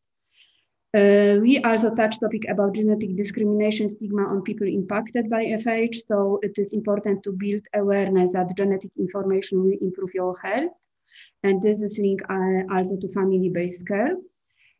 Interesting comment from Hungary here. Uh, it looks that it is confusion because of running scientific discussions and In Hungary, exactly, especially, is no clear is lack of recommendation of genetic testing. discussions are going into direction that um, if you have got a gene, you have got disease, but if you don't have gene, doesn't mean that you don't have disease. So probably here it is also important to leverage some clarity about this topic. And uh, Czech uh, took uh, voice uh, and told us that in Czech genetic uh, testing is highly recommended, even uh, there are special and important documents. So the approach is with diagnosis in two steps screening biochemical lipids level plus genetic testing. And it's clear that future is going into this direction, what will allow us to improve on one side diagnosis and on another side disease prognosis, what is also extremely important for any discussion on, on the local level. And again, this allow us to make, make a link to family-based care and was uh, the request if it is possible to show outcome uh, from the country level. Um, this could support other countries in any national discussions to, uh, to, to, to, for genetic testing, to support genetic testing direction. Oh, that was a great summary, uh, Dorota. I think that the tension that's out there is between countries that have um, genetic testing resources and those that don't. So if you don't, I think you still have to be comfortable with working on the basis of just a high cholesterol. I think, uh, and and and so and also, I think what's interesting is one of the uh, recommendations in, um, you know, the call to action relates to family-based care, and I think in the, the the country discussions we had, France, Czech, um, and Hungary, that was a common theme in different ways because in France they want to start uh, and both and in Czech start with children and use that to help identify parents. Hungary has the family-based programs, and there was interest from our Russian colleagues as well as getting more information on raising pediatric awareness. Um, it's probably worth um, mentioning that in this in the international kind of FH effort related to the global call to action, which includes FH Europe but other countries, finding children under 10 has been made the number one, you know, the the number one um, kind of diagnosis priority. So that it's really great to hear all these efforts that are going on towards very early diagnosis. Thank you so much. And it's impressive how much you managed to get through in your room. Uh, I, I am really looking forward to collecting all those notes because there is a lot of call to action for uh, us as an organization. It, it looks like there's an, also an opportunity to facilitate exchange of good practices and information uh, between different countries. So um, over to our room. Uh, what what is very obvious that in some of the countries, because of the impact of COVID, it's difficult to plan activities for 2021, and that can be anything because of the lack of resources, uh, instability in terms of planning, uh, and we don't know what's going to happen with COVID. And finally, uh, sadly, uh, to hear because of funding and and no guarantee that there will be a, um, supply of, of of, funds. Nevertheless, uh, we had two opposite spectrums. Uh, Heart UK with a very uh, clear plan uh, almost uh, uh, um, um, to to the day and to the event that's that's been that's been planned out for 2021. I was pleased to hear that Joel said that maybe having a stroke day could be something to consider for for Heart UK. And then on the other hand, we had Merle in Turkey or Marzena in Poland who said that basically due to the lack of resources, lack of people, and funding, it's really difficult. So they had to narrow down down the scope of scope of work. Um, what I took away from that session is uh, one, definitely uh, potential to explore collaborate not collaboration um, advocacy with governments so an example of the parliament day in the uk and it seemed to be for some some countries something new and maybe opportunity to to to uh, better um, understand what that means and what the benefits of such initiatives are. One, two, uh, there is a new project in Turkey to happen in regards to premature uh, MI uh, registry, and there seems to be funding for that, which is good. And and and Meryl is definitely demonstrating creativity to juggle funds so she can deliver on certain things. Um, uh, when it comes to uh, uh, Germany, I think the center stage will be around celebrating the uh, the, the 10th anniversary of the organization. Uh, having said that, a lot of activities will have to happen virtually because of COVID. So I, I hear that thread here coming through digital, virtual, COVID, and and and what what's really uh, positive in all of that was that in Austria, virtual meetings uh, that are happening now are bringing potentially more attendees as a, as a result that maybe it's easier to access uh, uh, uh from, from the comfort of your home. And I was pleased to hear that Austria is keen to, to, to use the potential of FH Europe supplying the Zoom platform. So any other country that is willing and thinking, considering to do meetings virtually, now we have a, a platform that you can use both for meetings and webinars. And we have a lot of experience now running this meeting what to do and what not to do. So obviously happy to to leverage that for your benefit. Uh, what else? Um, um, bum, bum, just bear with me one second. In terms of uh, activities, uh, I think it's very clear in our room, they will focus around awareness raising, advocacy. Uh, Poland and Marzena is planning to uh, uh, uh, collaborate with the parliament to put on their agenda back again the child screening uh, issue as well as lowering the um, the level in the drug program for PCSK9. PCSK9 access, exactly. And that seems to be a similar problem in Turkey because there is lack of reimbursement for PCSK9 that is impacting their funding there.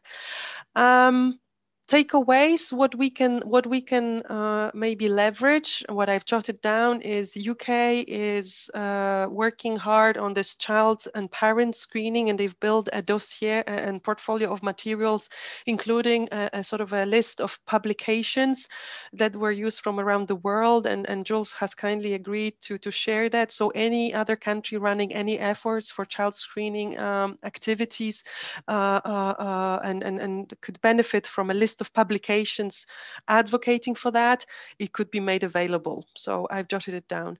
Anything else, John, team?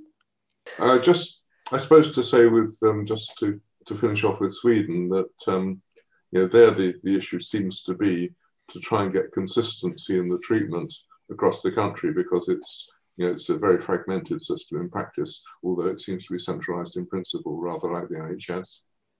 Yes, exactly. That's that's that's a problem we're having, and uh, it, it's difficult to to work with because there isn't really one place you can go and try to make your voice heard and, and try to influence things. You have to sort of do it much more granularly and sort of work at a much more local level, and that's been a challenge for us. Thank you so much. And I heard the same feedback in other discussions with Finland. I heard it as well in Switzerland. So, so again, um, we need to come up with solutions that we can reach those people, the decision makers or, or stakeholders in different ways than driving to 150 hospitals. And that's what happened in Sweden. So um, kudos for, for your uh, commitment to the cause. And I'm really, really happy to see those beautiful words inspired, collaborative, hopeful, um, overwhelmed. Um, I would be keen to understand what's meant there. Is it good or, or, or something that we need to fix? Excited.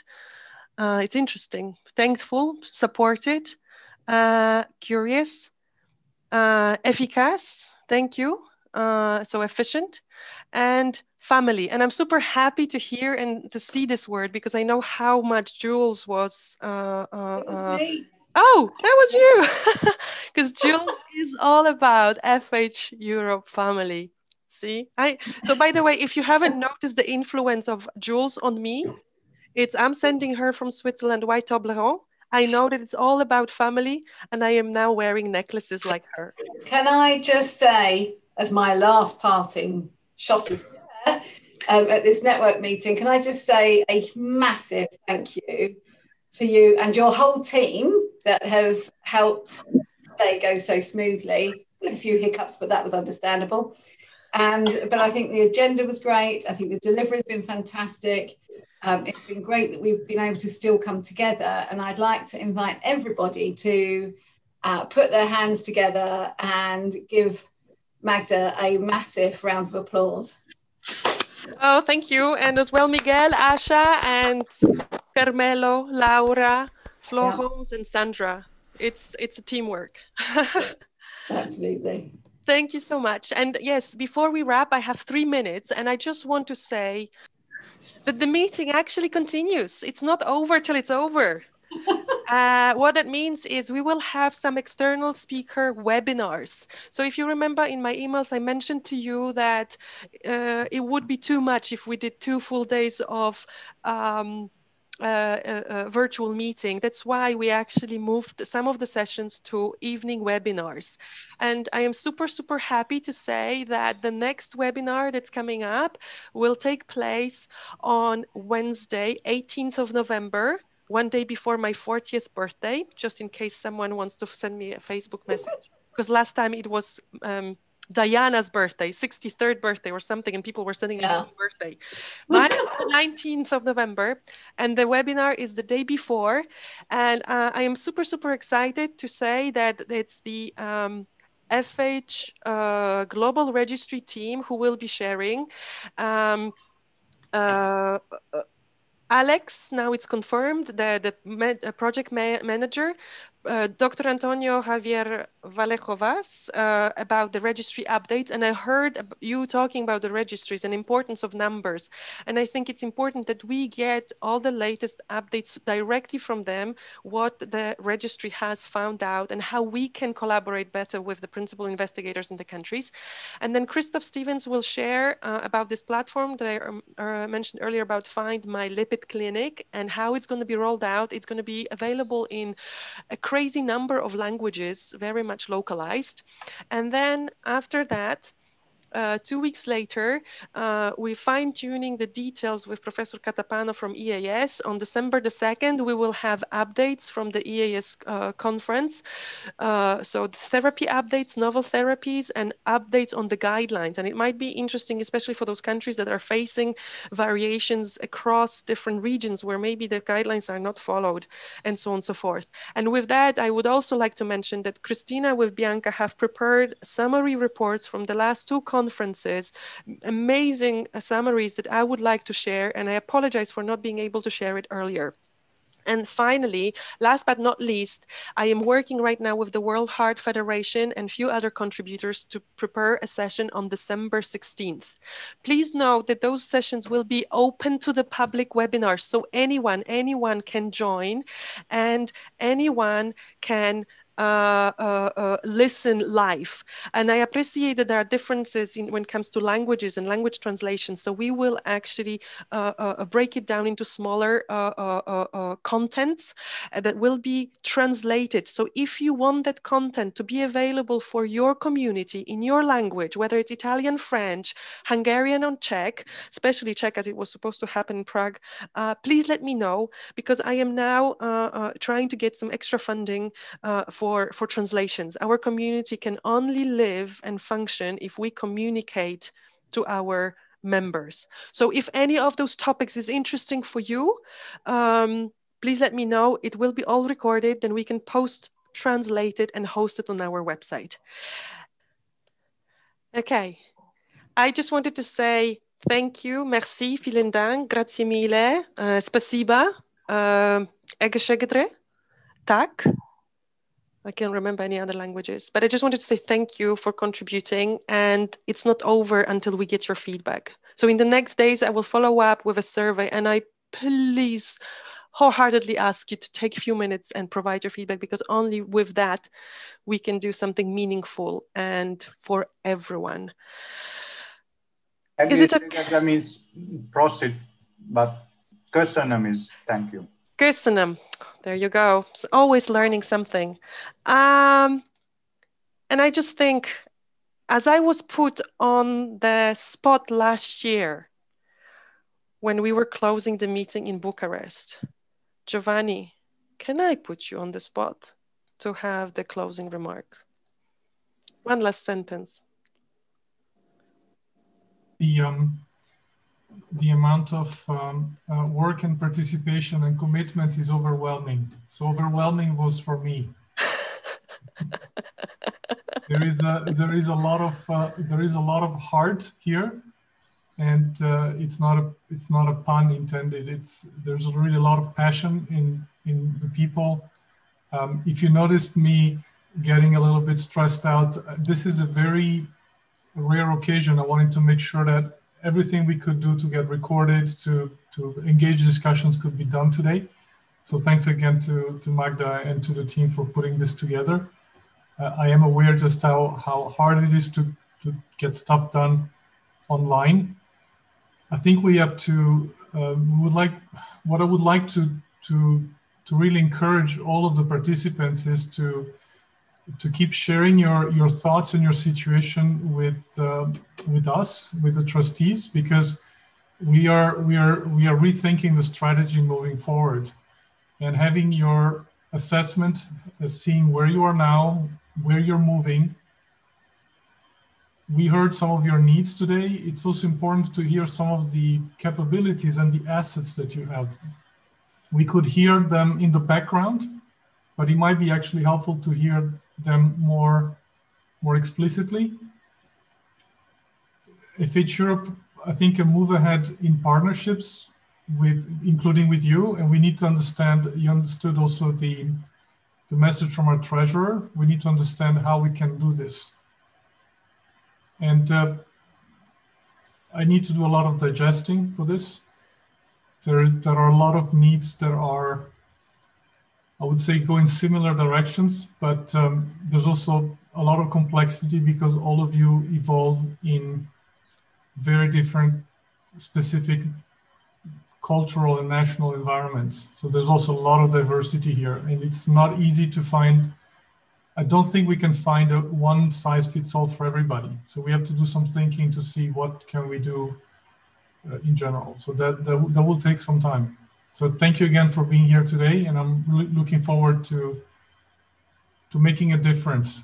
We have um, a lot of people that uh, we need to uh, to touch, so that in a few years we don't have to do this anymore because we will be 100% everywhere. So thank you. Thank you so much. Thank you. Keep keep safe. Keep healthy. Don't let COVID impact you. Uh, last thumbs up, and I'll take a picture so we can proudly post it on social media and see what a great FH family we are. Thank you, guys. Thank you. Thank you, Magda. Okay, picture. Bear with me. Smile. Got it. Wonderful. Thank you. Stay safe. Stay safe. Bye bye. Bye bye.